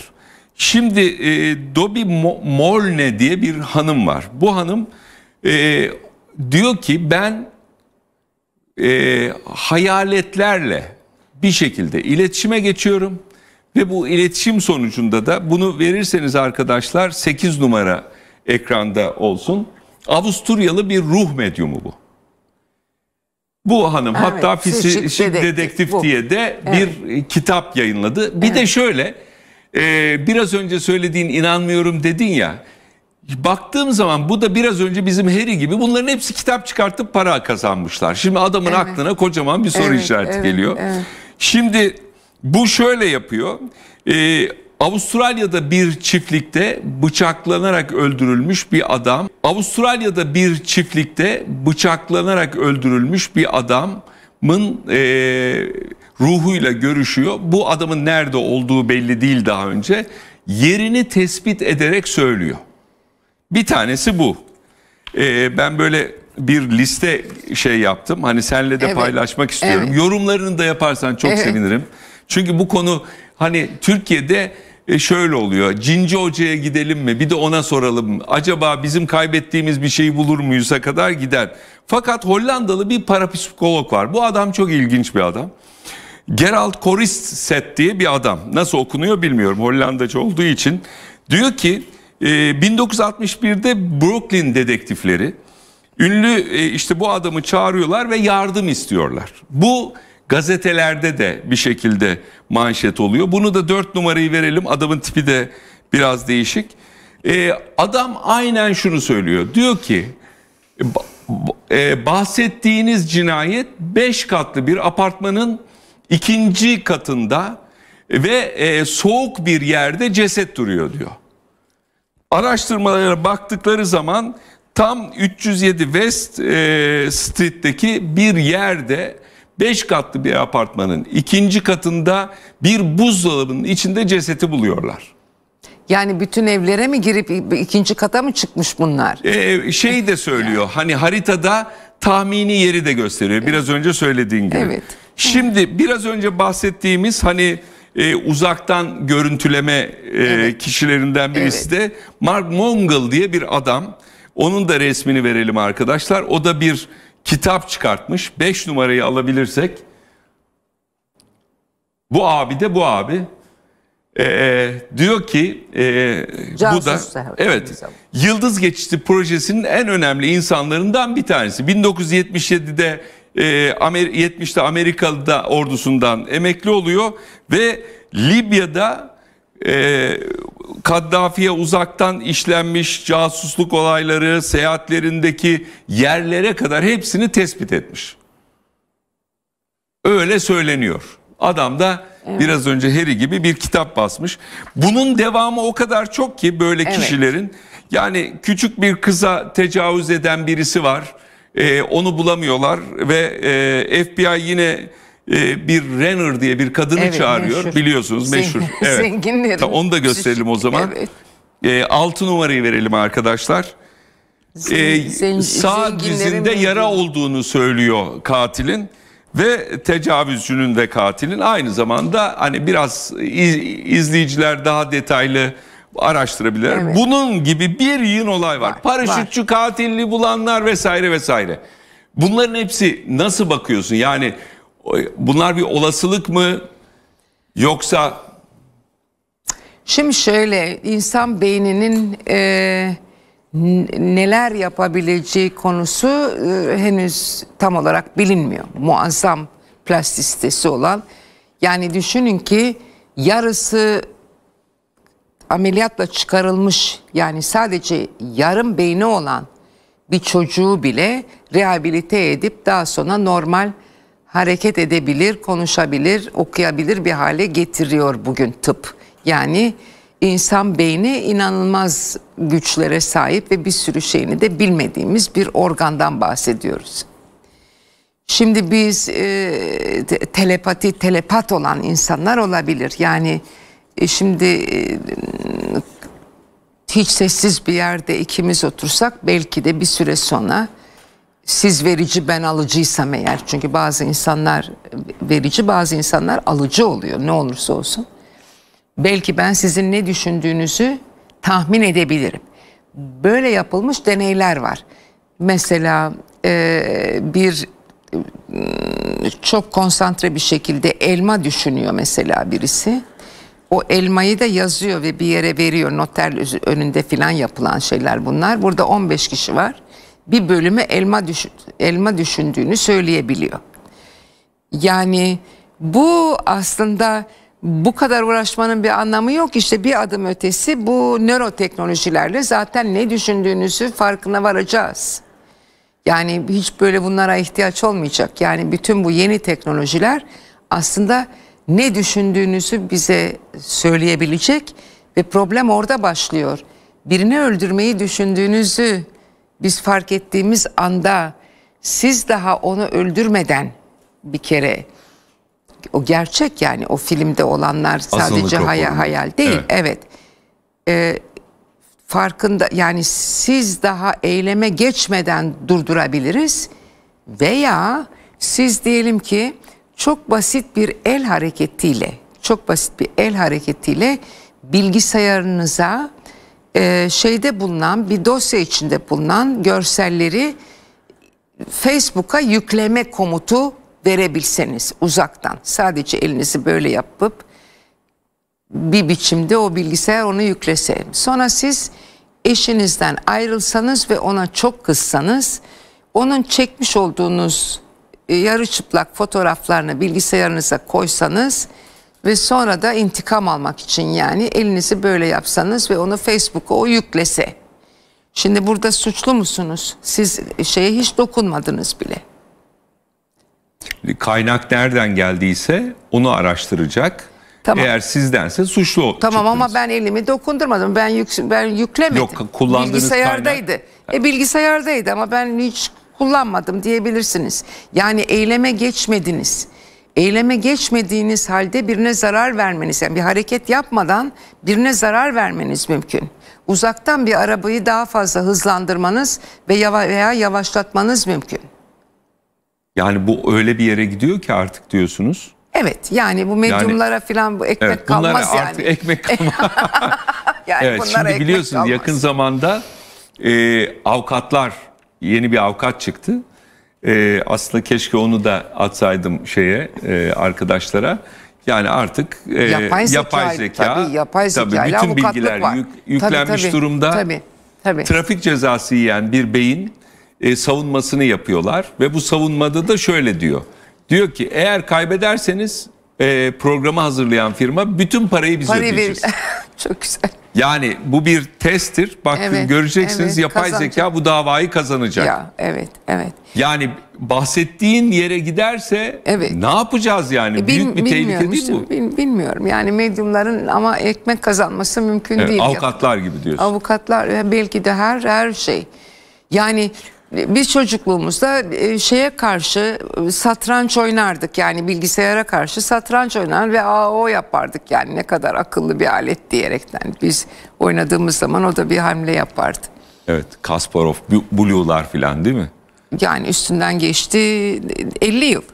Evet şimdi e, hani Sevil Atasoy'dan şunu izlesem ben.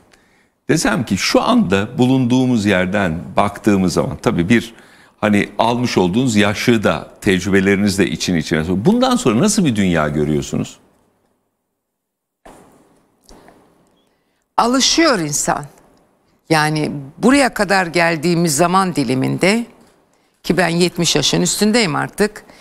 Yani bilinçli olarak geldiğimiz diyelim ki 17-18 yaşından bu tarafa kadar bir yarım yüzyılda nelere alışmadık ki? Yani benim zamanımda fax çok enteresan, çok önemli bir alet diye başladık.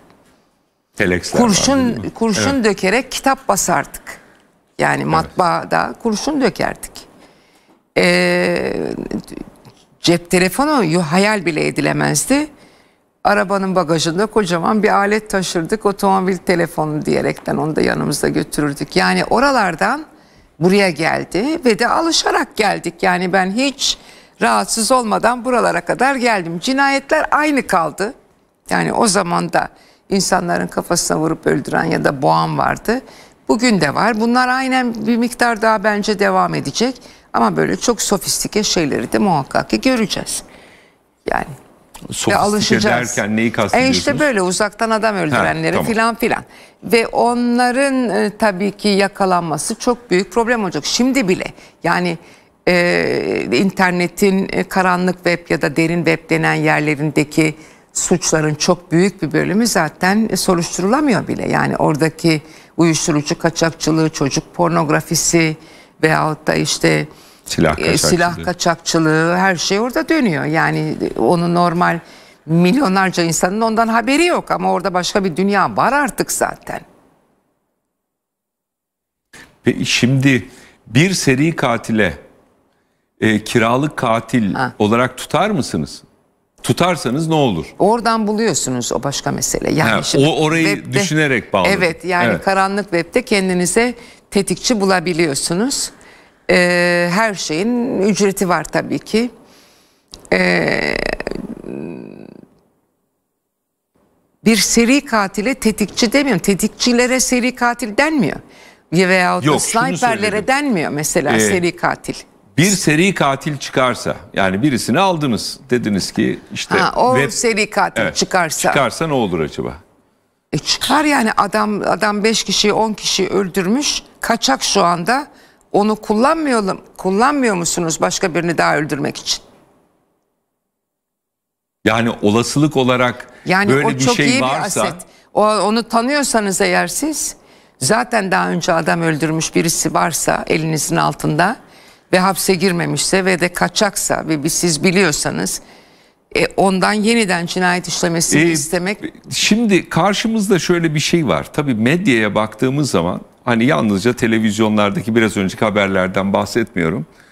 Yani işte şimdi vizyona girecek filmlara bakıyoruz.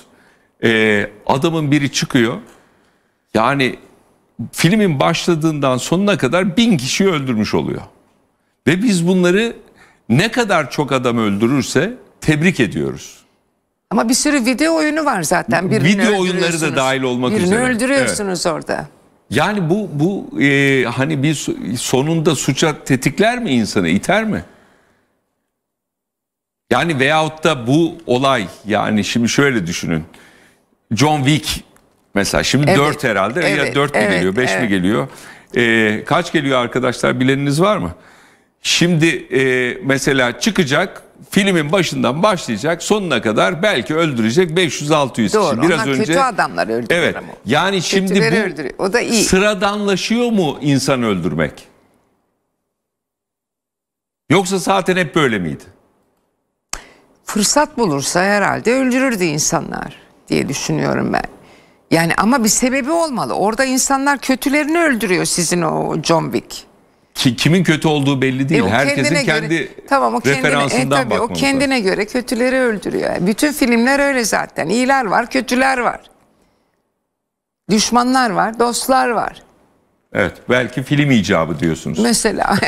Şimdi tabii sizin öteki konularınıza da girelim biraz.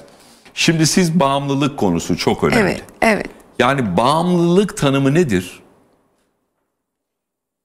Zor konan bir tanım aslında. Yani öyle eee, çok böyle sıradan bir tanım değil bu. Eee, mutlaka eee, öncelikli olarak eee, normal hayatınızda yapmanız icap eden işleri yapamamaya başlıyorsunuz. Yani okula gidemiyorsunuz, işe gidemiyorsunuz. Evde yapmanız icap eden bir şeyler varsa onları yapamıyorsunuz önce e, kendinize bakamıyorsunuz. Yemek yemiyorsunuz belki o, o işi yapmakla şey yapan. Sonra bunun dozunu giderek arttırıyorsunuz. Ne yapıyorsanız eğer önce az bir miktar yapıyorsunuz. Daha sonra o giderek daha fazla daha fazla yapılmaya başlanıyor. Bağımlılıklarla ilgili olarak. E, onu size yaptırmadıklarında yoksunluk sendromu diye bir şeyiniz oluyor. Yani e, mideniz bulanıyor, kaf, kafanız şey rahatsız, hiçbir şey yapamaz oluyorsunuz filan. Eninde sonunda Bu yalnız bir uyuşturucudan Hayır. bahsetmiyoruz. Hayır. Herhangi bir şey Evet, olabilir değil mi? Bağımlılık 400 Evet. çeşit bağımlılık var. Yani en az. Yani o kadar farklı farklı alanlarda bağımlı olabilirsiniz. Ee, yani bu noktaya gelebilirsiniz. Yeme bağımlılığından tutun da kumar bağımlılığına, alışveriş bağımlılığına, video İnternet oyunları bağ, bağımlılığına, internet evet. bağımlılığına, yani bunun spor bağımlılığına, yani veyahut da egzersiz bağımlılığına e, ki şimdilerde çok fazla var. Tabii ki alışveriş bağımlılığına ve çeşit çeşit şey var. Yani sadece e, madde kullanımı değil mesele. E, madde kullanımı yani da işte bir yasa dışı madde kullananlar diye bir grubumuz var. E bir de tabii ki reçeteye tabi olanları kötüye kullananlar var. Ama biz bunların hemen bağımlı olduğunu söylemiyoruz. Kötüye kullanım diyoruz artık. Ondan sonra bu bir, bir sonraki aşama. Bu dediğim şeyler çıkıyor ortaya. Evet. Peki şimdi siz gençlerde en büyük problemi ne görüyorsunuz? En büyük tehdit nedir şu anda? Temelde bunların hepsi birer tehdit aslında. Yani bir insanı eğer okumaktan alıkoyuyorsa, okula gitmekten alıkoyuyorsa bir şey, o insanın yarın öbür gün bir iş sahibi olamayacağını ve de e, kendini geçindiremeyeceğini gösteriyor ki bir asalak olarak kalacaktır o. Ve de parayı bulursa eğer o yaptığı iş neyse ona parayı bulursa mesele yok. Bulamadığı zaman artık suç işlemeye başlayacaktır. Her ne olursa olsun. Ee, Bağımlılığın yani bundan nasıl kurtulacağız? Ne yapacağız? Şimdi siz aynı zamanda çok önemli bir görevdesiniz Birleşmiş Milletler'de. Evet. Yani bunu Evet. söyleyelim mi? Bu çünkü önemli Tabii bir söylüyoruz zaten, hani biliyorlardı, Önemli bir bilir. konu. Evet. Hani e, biz de programda tekrarlayalım Evet. anlamında Evet, söyledim. evet. E, şimdi bağımlılıkla ilgili en önemli konulardan bir tanesi gençlerin geleceğimiz olduğu için geleceğin bir şekilde e, travmaya uğramış oluyor. doğru. Doğru mu efendim? Yani Doğru. şimdi bakıyorum neler görüyoruz. Daha çok internet Doğru. e, ve uyuşturucu bu ara Evet. çok fazla. Evet. Hani e, Evet. te- televizyonlarda da İçişleri Bakanlığı'nın da çok gündeminde şu anda konuşuluyor. E, bunlar ne kadar bi- yani büyük bir tehdit olacak ve bunlar gittikçe artan bir tehdit mi olacak? İnsanlara ne öneriyorsunuz bu konuda çalışan birisi olarak? Şimdi dünyanın her ülkesinde az ya da çok tabii ki madde kullanan insan var. Bazı ülkeler Amerika Birleşik Devletleri gibi eee, aşırı bir biçimde ağrı kesici kullanmaktan opioid bağımlılığı denen bir krizin içine düştüler ve sadece geçen sene bundan 100 bin kişi öldü. Yani fentanil denen bir maddeden. abi- Evet. Şimdi bu fentanilin içerisinde bir veteriner ilacı var içine eklenmiş vaziyette. Bununla vücudunuza beklenmedik şekilde büyük yaralar açılıyor ve ölüyorsunuz. Yani böyle de büyük bir e, şey var. Bunun doğuya doğru gelmesi yani Avrupa'ya oradan sonra da bize doğru gelmesi mümkün. Yani bu tip şeylerin. Türkiye henüz böyle bir felaketin içinde değil. Yani sokaklarda insanların öldüğü bir ülke değil. Ama Amerika Birleşik Devletleri'nde insanlar köşe başlarında yerleri düşüp ölüyorlar.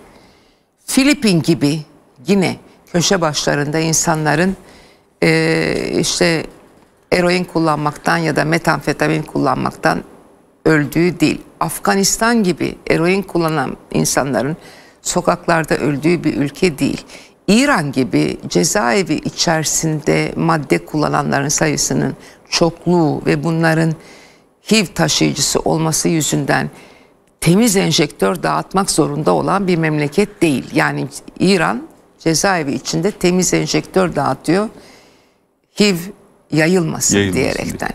Şimdi mutlaka ki çok şanslı bir toplumuz. Yani böylesine bir transit ülkenin eroin açısından özellikle transit ülkenin e, bir eroin salgınıyla karşılaşmamış olması büyük bir avantajımız. Şimdi maalesef e, bir metamfetamin meselesi var. E, doğudan geliyor yine. Çünkü metamfetamin yine Afganistan'da üretiliyor ve oradan bu tarafa doğru geliyor. Yani Afganistan bir açık yara Türkiye için. Öncelikle ne yapıp yapıp oraya bir şekilde uluslararası toplumun el uzatması lazım. Şu anda terk edilmiş vaziyette ve giderek de artacağı muhakkak. Öte Niye yandan terk edilmiş diyorsunuz? terk Birleşmiş ettiler. Milletler'den bakacak çekildi, olursanız. çekildi herkes. Yani bu bilinçli bir operasyon mudur yoksa? Para vermekten sıkıldılar. Çünkü yöneticiler bunları e, istenilen şekilde kullanmadı. E, çok para aktı şeye e, Afganistan'a. Ama bir avuç insan bu parayı e, bir şekilde çarçur etti öyle diyelim. Ve- İngiliz bankalarına yatırdı. ve diyorsunuz. halkına halkına bunu şey yapmadı. İnsanlar aç, işsiz. Dolayısıyla e, e, alıcısı olan bir ürünü ekiyor. Nar ek diyorlar bunlara. Nar eksin de kime satacak bunları? Bir tane fabrika yok, bir tane hiçbir şey, hiçbir şey olmayan bir memleket. Yani e, aynı şey uzak doğu ülkelerinin birçoğunda var. Ama Çin zorunlu tedavi diyor mesela. Zorunlu tedavi. Bağımlıyı gördüğü anda bir yere kapatıyor. 5 sene takip ediyor. Zorunlu tedavi. Çok önemli. Aileyle bağlantısını kesiyor. Hiçbir yere hareket ettirmiyor. Ne seyahat edebiliyor, ne vize alabiliyor, ne bir şey. E Kırgızistan, ben iki hafta önce Kırgızistan'daydım mesela. Kayıtlı bağımlıysanız eğer, devletin kaydına girmiş bağımlıysanız tamam sizi tedavi ediyor, ilaçla tedavi ediyor. Bu önemli bir şey, ilaç vermesi tamam. Ama e, siz ev kiralamak istiyorsunuz, kiralayamıyorsunuz. Vize ver- vermiyor size, yurt dışına çıkamıyorsunuz. Yani o zaman da insanlar sivil toplum örgütlerine gidiyor kayıt olmadan şey yapabilmek için. O da nereye kadar? Yani bağışla dönecek işler değil bunlar. Türkiye'de nasıl görüyorsunuz efendim? Türkiye'de çok daha fazla amatem ya- yapılması lazım. Arif Verimli Hoca'nın yaptığı bir hesap vardır. 250 tane daha gerekir diyor. Yani birisi tedavi olmak istedi mi hemen tedavi alabilmeniz lazım. Beklettiğiniz anda vazgeçiyor. E zorunlu da kimseyi tedavi edemeyeceğinize göre. Tamam Türkiye çok iyi bir noktada çünkü bağımlıları hapsetmiyor en azından. Tedaviye yönlendiriyor. Veyahut da ben ben tedavi olmak istiyorum diyen insanın yakalanmadan önce üzerinde maddeyle tedavi olmak istiyorum diyorsa ona tedavi imkanı sağlıyor. Bu çok önemli, çok medeni bir girişim bu. Böyle Eksik şey. nedir? E, hastane yok. Hastanenin dışında. Hastane yok. Aa, ve de önleyici eğitim yok. Mesela Talep azaltan eğitim yok. Okul öncesi zamandan itibaren yapılması icap eden şeyler var artık biliniyor. Yani bunlar kanıta dayalı eğitimler. Sorun çözebilme, problemle başa çıkabilme işte, hayır diyebilme becerileri öğretilmiyor. Yani bu eğitim sistemindeki eksiklikten Bu- mi bahsediyorsunuz? Evet evet tabii. Ve de bunun çok erken yaşta yapılması lazım. Nedir bu yaş aralığı? Bir yaş, iki yaş. Ha o kadar O diyorsunuz. kadar Evet. küçük evet.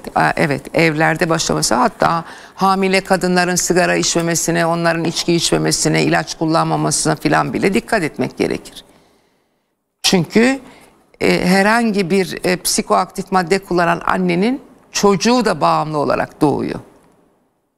Bir sürü hastalık olabilir, bir sürü şey oluyor. İmmün sistem bozuklukları vesaire. Şimdi- Annenin sağlığı da çok önemli. Birleşmiş Milletler'den bakacak olursak yani siz bu anlamda Türkiye'nin Evet. gururusunuz. Teşekkür ederim. Ee, nasıl bir dünya belirliyorlar? Bir 10 yıl, 20 yıl, 50 yıllık bir projeksiyon vardır zaten değil mi? Var şöyle ki var biliyorsunuz birçok ülke e, aslında esrarla ilgili olarak serbestleştirme şey aldı.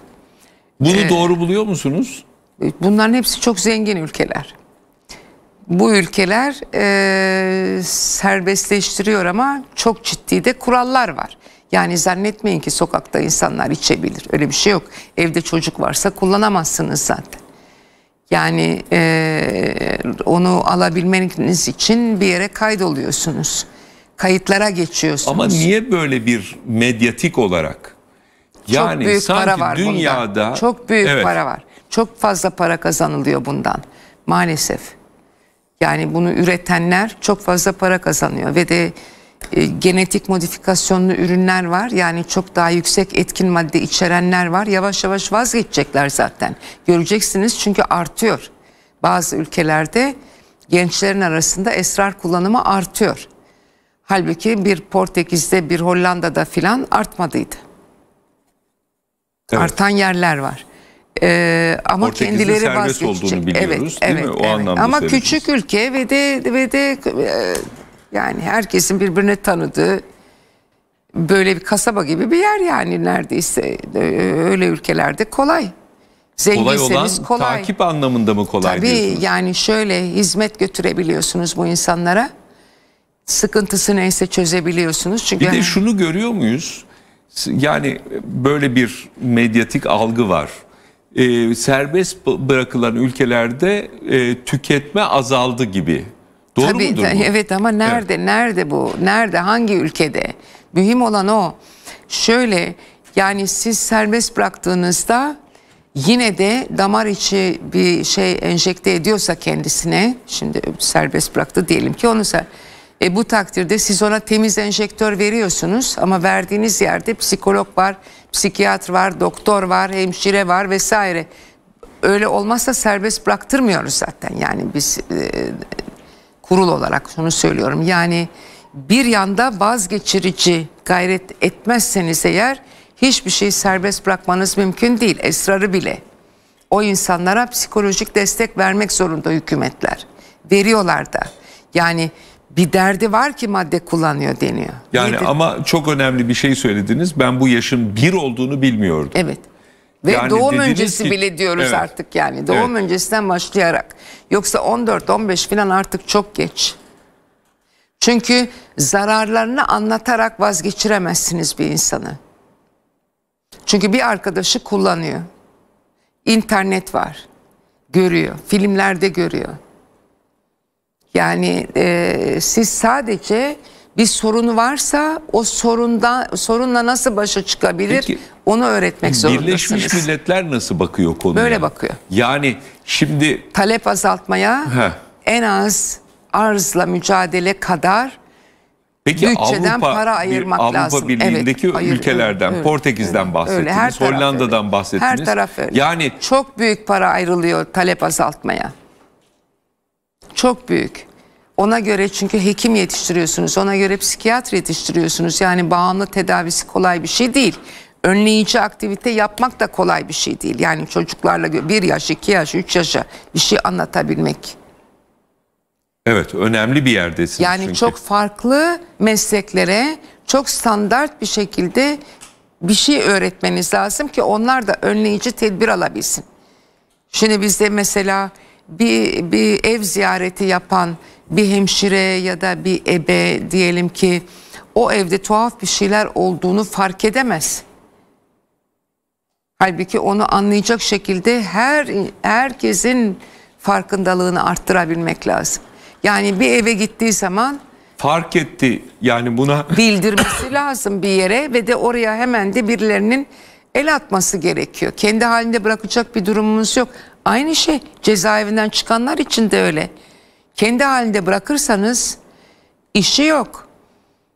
Evde karısı belki bakkal diyor ki biliyor musun eve başkaları da girdi arada. Dediği anda bitti zaten adam ad- eli ayağı bağlanıyor gidiyor öldürüyor. Sonra diyorlar ki neden kadınları öldürüyor cezaevinden çıkanlar? Çünkü hiçbir destek yok o insana. Daha önce karısına bir destek yok. Yani evde erkeğin olmadığı tek başına çocukla kalan kadına hiçbir şekilde devlet desteği yok. Evet büyük bir Nasıl sorun, yaşayacak bu Evet. insanlar? Nasıl yaşayacak? Peki bununla ilgili devletle çalışma yapıyor musunuz? Yani şimdi bunu Yok. burada hayır. dile burada, getirdiniz ama. Burada bütün bakanlıklara sorumluluk düşen bir şey. Bunun bir, bir, bir kişiyle olacak bir iş değil ki bu. Yok. Yani bir bakanlıkla olacak bir iş değil. Bu bir devlet politikasıdır. Biz talep azaltacağız. Biz suçun yeniden işlenmesini önleyeceğiz. E, şey binaları Bunlar yıkmasını... çok önemli tespitler. Evet Onu- tabii. Evet. Biz terk edilmiş binaları yıkıyoruz diyorlar. Doğrudur. Çünkü oraları olay yeri haline geliyor. Tamam. Metruk binalardan Tamam ama yeter mi? Yetmez. Yetmiyor. Yani olay yerini ortadan kaldırmaya çalışıyor. Ben mağdur olanı ortadan kaldırman lazım. Mağdur olanın tekrar mağdur olmaması için ne varsa yapacaksın. Suç işleyen belki işleyecektir. Anlatabiliyor muyum? Adam öldüren. Belki yeniden adam öldürür. Onun kafasının içini ben bilemem ki durdurayım o anda. Onu bilemem. Ama birinin mağdur olmasını engelleyebilirim. Benim için madde kullanan da mağdur birisidir. Hastadır bir kere. Beyin hastalığıdır çünkü madde kullanılması. Başka bir şey değildir. Bir beyin hastalığıdır. Tedavi edilir ama ömür boyu tedavi etmek zorundasınız. Ve takip etmek zorundasınız. Evet ve takip etmek zorundasınız. İşi var mı? Kimlerle görüşüyor? Hangi çevrelerde? Bu Peki e, hani hükümet sizden bununla ilgili bir talepte bulundu mu? Böyle bir rapor hazırlayıp verdiniz Yok mi? hayır vermedim. Ne, ne yaptığımı biliyor. Ayrıca yani benim Türkiye'ye doğrudan yani bu bulunduğum iş yüzünden doğrudan herhangi bir şeyde e, müdahil olmam zaten mümkün değil. Yani bir e, devlet adına bir yere bir konferans vermeye dahi gidemiyorum. Yani Türkiye'yi temsil etmediğim için şey oluyorsunuz çünkü objektif bir insan orada. Bir 13 kişiyiz biz. Ve Birleşmiş Milletler'den evet, ve, ve bahsediyoruz. de Evet. bütün dünyanın 190 küsur ülkeyi kontrol eden 13 kişiyiz. Tarafsızız beyanname imzalıyoruz devamlı. Yani kendi hükümetimize dahi hiçbir şekilde e, yani bir bilgi vermeyeceğiz bilmem ne filan filan bir sürü bir sürü şey var bildiğimiz bir sürü ticari sır da var bildiğimiz. Çünkü e, bu kontrol edilen maddelerin çok Bu büyük sırlar bir bölümü dediğiniz e, bu ticari trans- sırlar ve fiyatlardır. Evet. Mesela kaça alıyor kaça satıyor. Yani biz çünkü Suç e, örgütleri olmadan de da dahil mi? Hayır, e, hayır. Evet. Suç örgütleri dışında normal normal ticareti de takip ediyoruz biz. Çünkü bir e, kota ile ekiyorsunuz, haşhaş ekeceksiniz mesela bir kotası var. Bu kotaya biz izin veriyoruz ne kadar ekeceğinize. Herhangi bir ülkenin. Herhangi bir ülkenin. Tamam.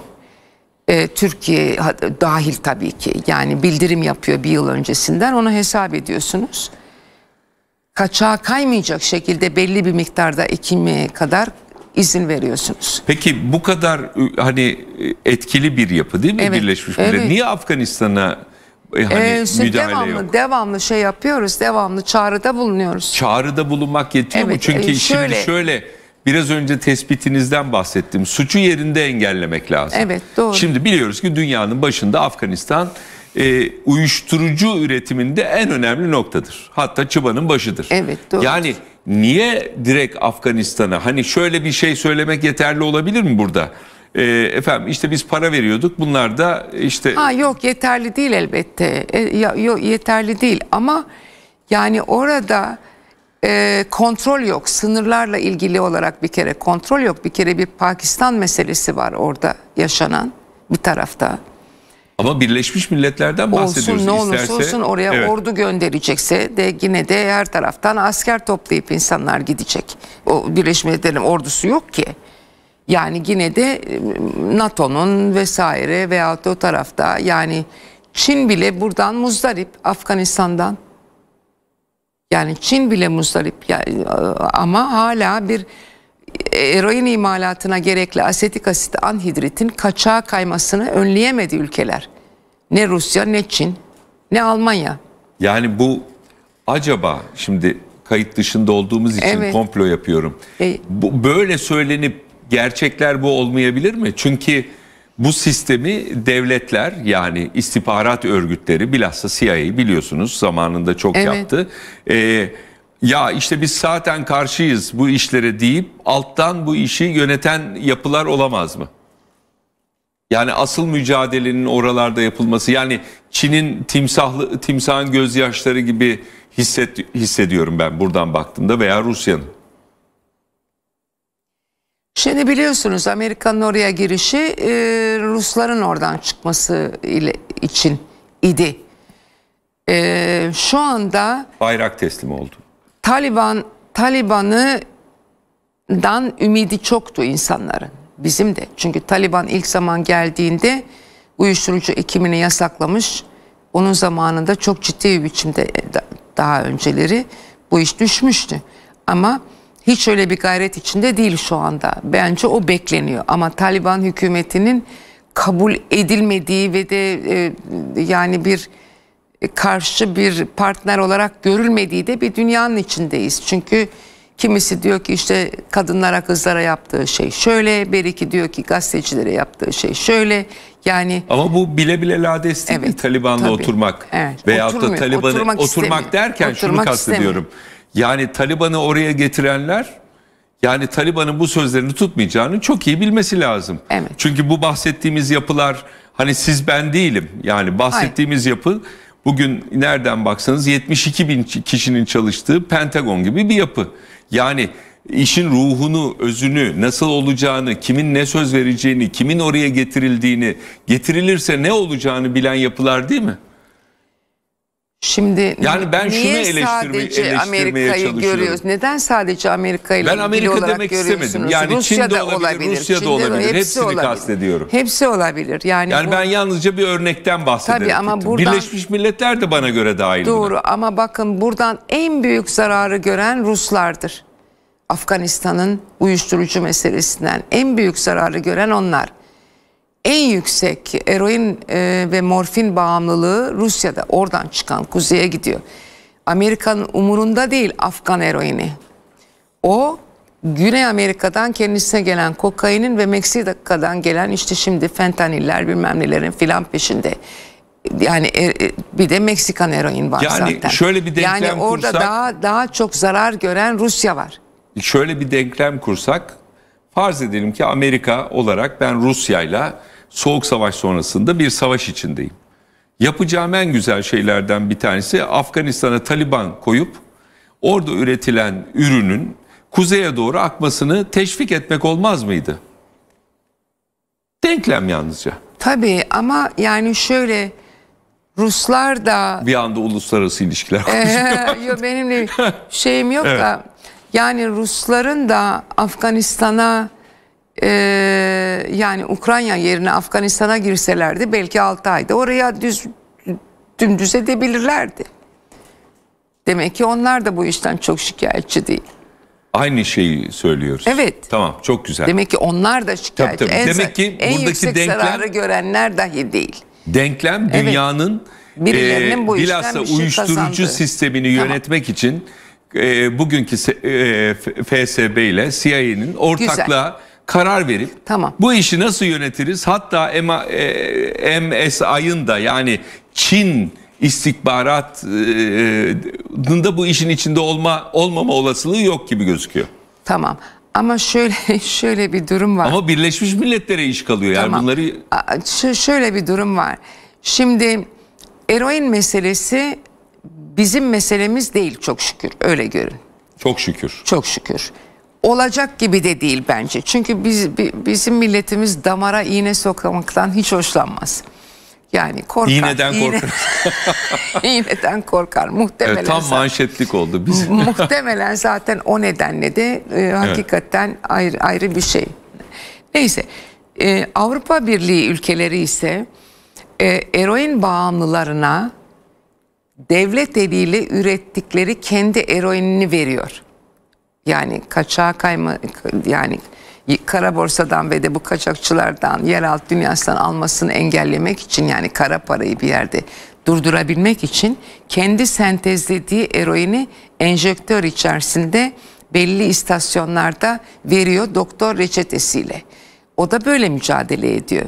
Şimdi Avrupa'da bence en büyük sorun Avrupa'da hangi ülke?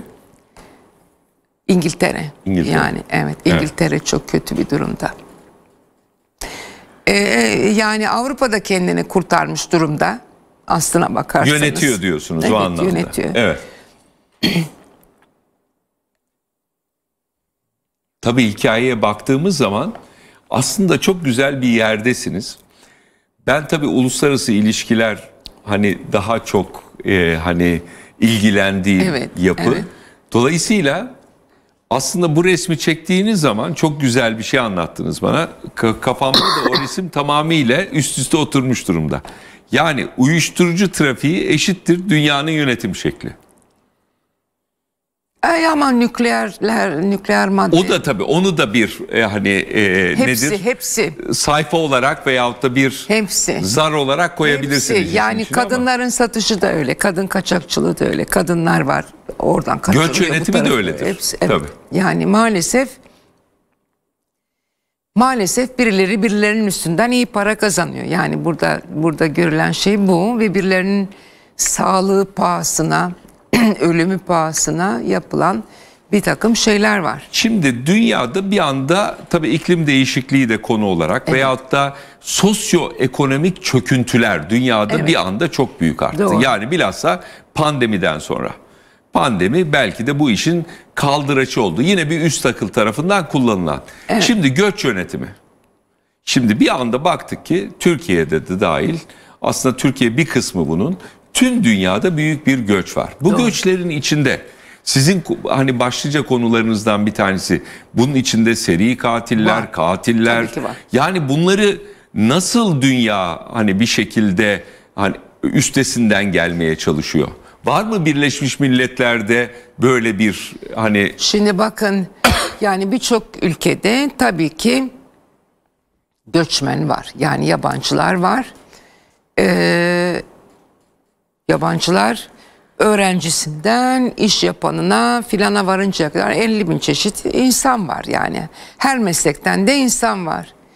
Şimdi bir kere bunların kayıt altına alındığı bir dünyadayız. Yani öyle e, bu insanların kim olduklarının bilinmediği, bir parmak izinin, bir göz izinin, bir avuç izinin ya da bir DNA'sının olmadığı bir ülke düşünemiyorum ben. ama geçmişiyle ilgili Bilemezsiniz onun İşte ne olduğunu. yani problem adam gelmiş 35-40 yaşına. Evet. Yani öncesini bilmediğiniz sınırdan kayıt gelirken Bilmiyorum. bas parmak bakayım kardeşim bir Evet. de kan ver bir DNA'nda Evet, bizde kalsının Yani dışında eğer geçmişindeki geldiği ülkeden geldiği ülkeden bir arama varsa Interpol, Europol filan üzerinden bulurum yani en azından buradan da gönderirim Ama. Interpol'e çıkacaksa o gerçek suçlu olur değil mi? Onun Evet dışında yani adam filan. öldürmüş ve arıyorlarsa eğer zaten onu uluslararası şeyde ararlar. Yani o kadar da dingonun ahırı değil yani bu dünya. Birleşmiş Milletler nasıl bakıyor göç sistemine? Hiç sizin Bizim ilgi alanınız değil. mı Hayır bilmiyorum bizim ama. hiç alanımız değil. Göç bizim alanımız değil. Göçle birlikte tabii bu göçler bundan sonra çok Evet. konuşulacak. Niye? Evet. Ee, göçle birlikte aslında bahsettiğiniz uyuşturucu trafiği de onun üzerinden yönetilebilir. Veyahut da Olabilir, e, evet. ülkelerin e, demografik yapısı da değiştirilebilir. Yani bir üst akıl göçü kullandığı zaman herhangi bir ülkede yani buna çok iyi bir örnek 2. Dünya Savaşı sırasında e, Çinlilerin batıya doğru yani bu bahsettiğimiz rakamlar 100 kişi, 1000 kişi, 100 bin kişi, 1 milyon kişi değil 100 bin kişinin aynı anda hareket ederek e, herhangi bir ülkeye travma yaratabilecek yapıda bir göç operasyonu yapıl- yapıldı. Buna benzer operasyonlar yapılabilirse ve bunun içinde katiller, sizin konularınız yine uyuşturucu kullananlar veyahut da bunu ticaretini yapanlar varsa ne yapacağız? Yine parmak iziyle mi 100 bin kişi, 1 milyon kişiyi bir şekilde kontrol altına alacağız? Hayır belki herkes birbirini vurmaya başlayacak sonunda. Filip- Ne demek istiyorsunuz? Filipinler'de mesela e, paramiliter e, şey silahlı gruplar e, uyuşturucu bağımlılarını infaz ediyorlar gece. Kafasına silahı dayıyor, öldürüyor. Devlet diyor ki "Be- valla benim hiç haberim yok bu olanlardan. Yani Devlet belki sonunda diyorsunuz veya teşvik ediyor diyorsunuz. sonunda bu hale geliniyor herhalde. Yani Amerika'da vardı herhalde iki tane polis Ha, hani bu evet, filmlere tabii. de geçer. Bir Doğru. bahsetseniz ondan. Hani Evet evet iki tane polis e, Miami'de iki tane polis narkotikçidir bunlar. Yakalarlar delil yetmezliğinden bunu serbest bırakır devamlı şey e, savcı. Dexter'ın şeyi değil mi bu? Evet, evet. Evet, Polis Dexter polisler yani adaleti eline alan polisler çoktur dünyada. Yani Evet. kendisi Kirli şey- Harry falan gibi. Evet tabii yani bakar ki bir türlü e, şey yapamıyor, bunları hapsedemiyor. Sonunda bunları tek tek öldürmeye başlar. İşte bu ikisi de öyleydi. Ya, Ee, yani, yani- Filipinler'de de benzeri bir şey yapıyor devlet diyorsunuz. Ama zavallı hasta bunlar. Bağımlı diyorum işte ben size. Yani madde bağımlısı dediğiniz hasta insanlar. Onlarla hiç uğraşmıyor. Onlar sokaklarda. Bu da Diyor gece ki biz onları bunlara vuruyor. ayıracak At- finansımız ke- yok. Köpek gibi yani. Evet. Evet, bunların yok edilmesi. E, Şimdi insan nüfusuna baktığımız zaman Sevil şöyle bir şey var. Yani bir bakıyoruz Çin bir yerde. Çin için daha iş daha kolay çünkü kapalı bir toplum. Ama Hindistan'a doğru girdiğimizde 1.4 1.4 Evet, iki tane aynen, büyük. aynen. Hindistan'da biraz daha karışık mı işler? Sen Hindistan'ı Ben da gittim. çok ziyaret ettiğin Hindistan'ı için. biliyorum. Evet, Hindistan'ı biliyorum. E, Hindistan enteresan bir ülke. Çünkü eyaletler var ve de e, bu eyaletlerin e, kendi polisi, kendi işte askeri ve kendi yönetimi olağanüstü de bir demokrasi var. Yani e, her eyalet ayrı bir devlet gibi yönetilir. E, kendi yasaları da var her birinin. Yani mm, bir yerde Amerika gibi.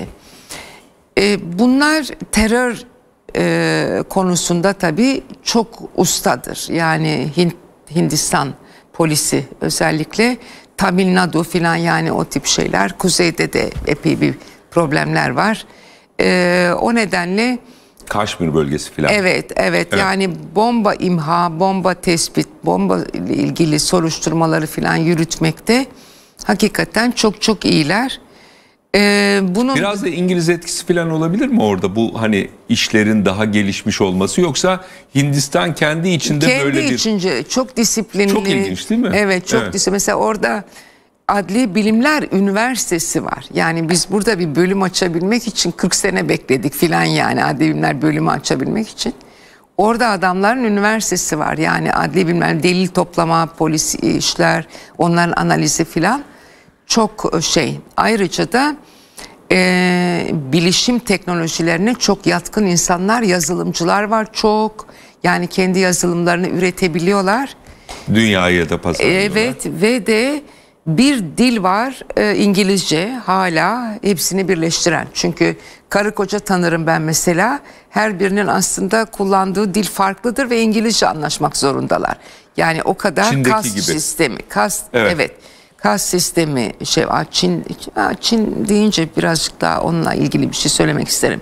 Yani Hindistan kendi içinde birçok şeyi halletmeye çalışıyor ama çok yoksulluk, çok hırsızlık, çok tecavüz filan yani öyle pek o kadar e, toz pembe denilecek bir ülke değil.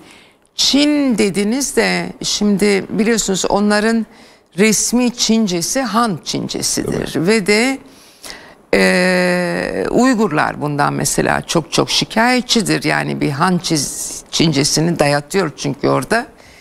Ve de bütün sağlıkla ilgili broşürleri Han Çincesi basıyor. Ve bunların kadınları mesela hiç okuma yazma dahi bilmiyor Uygurların e, şeyler kadınlar. Ve bunlar bunu hiç okuyamıyor bu şeyleri. Ve bu nedenle HIV çok yüksek Uygurların arasında. Yani e, şimdi yine Önleme yapamadığı zaman için sanki evet. Çinliler Aa, yok etmeye bilakis çalışıyormuş yok et- gibi, Heh, yok etmeye tamam. çalışıyormuş gibi yani kadınları ve onları orada enterne etti. Yani bulunduğu bölgede Sincan Özerk bölgesinde Uygurları enterne etti. O kadar ki Kalabalığı azaltma projesi. öbür yapıyor. tarafa götürmüyor bile. Yani Çin'in diğer taraflarına mesela bir Uygur e, e, etnik grubundan birisi kendi işte Sincan'dan çıkıp da başka bir yerde bir ev tutarsa bir ay içerisinde oraya altı tane kendi akrabası olmayan Uygurlu geldiği zaman eve polis geliyor. Ve bunu hep yüz tanımayla tespit edebiliyor. Yani otomobilde giderken, araç kullanırken bile geçenin Uygurlu olup olmadığını tespit ediyor. Toplama kampı olmuş yani. Toplama kampına oradaki Sincan'daki erkekleri gönderiyor zaten. Yalnız şimdi şöyle bir durum var. Bu yüz tanıma teknolojisi iyi bir şey ve aynı zamanda çok kötü bir şey aynı zamanda. Yani hem hata yapılabilir hem de işte bu büyük abi gözetliyor. Çok kötü. Hiç hiç insanların hiçbir özgürlüğü yok ama bu yavaş yavaş her tarafa doğru yayılıyor yüz tanıma. Ee, şimdi dünyayı dolaşıyoruz biraz sen. Evet. Başka sorular soruyoruz. Evet. Belki sen çok konuşmadığın konular Evet, televizyonlarda onun için e, kayıt dışı yapıyoruz. Şimdi Asya'ya baktık iki tane büyük ülke. Tabii Çin'le e. Endonezya'da belki benzer Tabii, bir evet. yapı. Sen çünkü oralara çok sık Biliyorum, gittiğin için evet. ama hemen Güney Amerika yani felaket. Yine Çin'deki gibi Brezilya, Meksika, hani Arjantin gibi Venezuela'yı konuşmak bile istemiyorum. Yani çok büyük problemlerin bile. yaşandığı bir yer. Birleşmiş Milletler yine aynı sorunları Evet. orada da görüyordur değil Görüyor, mi? tabii ki. Tabii onlarla ilgili çalışmalar Tabii. nedir? Yani biz şöyle orada yani Güney Amerika e, öncelikli olarak tabii ki çok ciddi bir biçimde Amerikalıların yani Amerika Birleşik Devletleri'nin etkisi altında olan bir yer. Ve e, Bir arkadaşlar yazmış. Çok sevdiğim bir arkadaşım. İsim vermeyeceğim. Diyor ki ilk defa diyor Sevil Hanım'dan böyle bilgiler duyuyoruz ve diyor süper e, şey bilgiler diyor. Okuyamadım altını. Ay, Yani sağ ol, sağ olsun. Şimdi Güney Amerika'ya tabii e, Kuzey Amerika polisinin ve de FBI'nin ve de CIA'nin hepsinin orada bağlantısı var elbette. Maalesef e, bu, bu insanlar e, kendi geleceklerini de özgürce tayin edebilme ve istedikleri yönetimlere kavuşabilme şansına sahip olamıyorlar Güney Amerika'da. Oldurulmuyor da diyebiliriz. Oldurulmuyor Evet. ve ve e, kendileri için çok değerli bir koka bitkisi var. Yani en eritroksilon koka, kokainin elde edildiği bir bitki. Onun e, o kadar çok şeyde kullanıyorlar ki yani yerel halk e, işte kah ilaçtı kendilerine kah e, Geleneksel ilaçlar. sabundu, çaydı vesaire yani endüstriyel bir bitki. Onun eradikasyonu yani ortadan yok edilmesi söz konusu bile değil. Ee, ve fakat çok büyük gelir getiren oradan bir kaçakçılık var ve onu yani bitkinin coğrafyası o, o kadar da şey ki çok zor bir coğrafya tabii. Ee, ve oralardaki laboratuvarlar evet ve oradaki laboratuvarlarda kokainden yani koka bitkisinden kokain yapmak çok mümkün. Muazzam bir çevre kirliliği var. Bütün Amazonlar bir süre sonra herhalde bu oradaki asit at- atıkları vesaire yüzünden zaten felaket olacak. Başka türlü bir felaket olacak orası. Bunun yan etkilerinden yani çevre kirliliği yüzünden. Aynı şey Hollanda için bile geçerli. Hollanda'da da var bir sürü artık imalathane var. Laboratuvar var Hollanda'da. Kenevirle ilgili olan kısmı. Kenevirle de ilgili var, e, kokainle de ilgili var. Yani orada saflaştırılan bir takım şeyler var. Met, met laboratuvarları var Hollanda'da. E şimdi bunların atıkları bütün o sulara, yeraltı sularına vesaire vesaire gidiyor. Yani inanılmaz bir çevre kirliliği de Ee, buralarda Birleşmiş başladı. Milletler nasıl bir önlem almaya çalışıyor Güney Amerika? yani neler söylüyorlar, ne yapmak istiyorlar? Yoksa Birleşmiş Milletler'i Hayır de yaptırımlarımız var. Şimdi şöyle mesela yaptırımların son noktası tabii ki ilaç ithalatını durdurabilmek. Yani yapabilirler mi bunu? Yani çünkü O tüketicisi noktada değil tabii ki. Tabii, o noktada değil. Ama e, yaptırım bu. Yaptırım e, önce arkadaş orada ne oluyor demekle başlıyor. Sonra biz misyona gidip yerinde görüyoruz nedir Ama bunlar bunların çok sorunu diye. hani e, hocam şey olmamış mı? Yani bunlar çok hani var Ama olan artık bunlar geçmedi mi? Ne yani? yapsın? Anladım. Yani yeni bir şeye Anlıyorum. ihtiyaç yok mu? Yani şimdi şöyle dediniz hani e, tamam Türkiye'de iyi veya kötü hani bir şekilde o veya bu yüzden az da olsa kokain giriyor buralardan dolayı. Ama bizim için dünya için en önemli şey Amazonlar. Dediniz ki biraz önce Amazonlar e, yok yok olacak. dediniz. Yani Yok dünyanın oluyor. yok olması demek Evet. değil mi bu? Doğru. Yani Ama Birleşmiş Milletler şöyle, daha sert, daha katı. daha katı yaptığı şey şu. Diyor ki işte şuraya yardım edeceksiniz. Bunlar diyelim ki domates ekecek ya da çikolata yapacak. Onları siz alacaksınız. E tamam da o, o parayı Domates de- getirmiyor. tabii, he. o parayı getirmiyor. Bunlar onu yapıyorlar. Onun ve getirdiği geliri karşılayabilecek bir ürün yok. Uyuşturucu geliriyle rekabet edebilecek başka bir tarım E ne, ne tarım olacak ürünü yani yok. Amazonlar yok mu olacak? Ha. Bu mu oluyor? Sa- alıcının yok olması lazım. Yani Ama alıcının şimdi Evet. böyle bir dünyada artık tüketimin giderek arttığı yani bu şöyle bir eğri değil. Yani aşağıya doğru giden bir eğri değil tam tersi giderek yükselen bir hani hatta öyle bir curve çiziyor ki artık evet, tavana ölüp vurmuş ölüp, durumda. ölüp ölüp kalacaklar. Geri kalan da kullanmayacak. Öyle öyle gözüküyor. Amerika'da Yani bunu şunu mu kullanan ölüyor çünkü neredeyse. yani belirli bir kısmı, büyük bir kısmı yani belki de işte e, hani bahsedilen nüfusun azaltma projesine kadar gidecek mi diyorsunuz? Yani ve de bu Hayır, bu nüfusun savaş. azaltma Bu projesini savaş. Birleşmiş Milletler görüp de hiçbir Bana şey yapmıyor mu demek bu? Hayır ya- yani o şimdi devletlere halkının sağlığına bakacaksın. Yani insan sağlığına bakacaksın.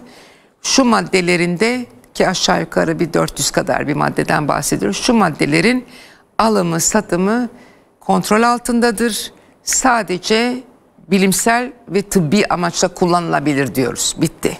Bizim söylediğimiz şey bu. Bunu kontrol ediyoruz. Bunun ticaretini. Kaçağa kaydıran varsa yani eczanelerden işte bir, bir, bir kodein şurubundan 500 tane serbestçe alabiliyorsa o hükümete diyoruz ki bu adamları bul. Yani şunu söylediniz Birleşmiş Milletler'in İsrail yaptırımları gibi.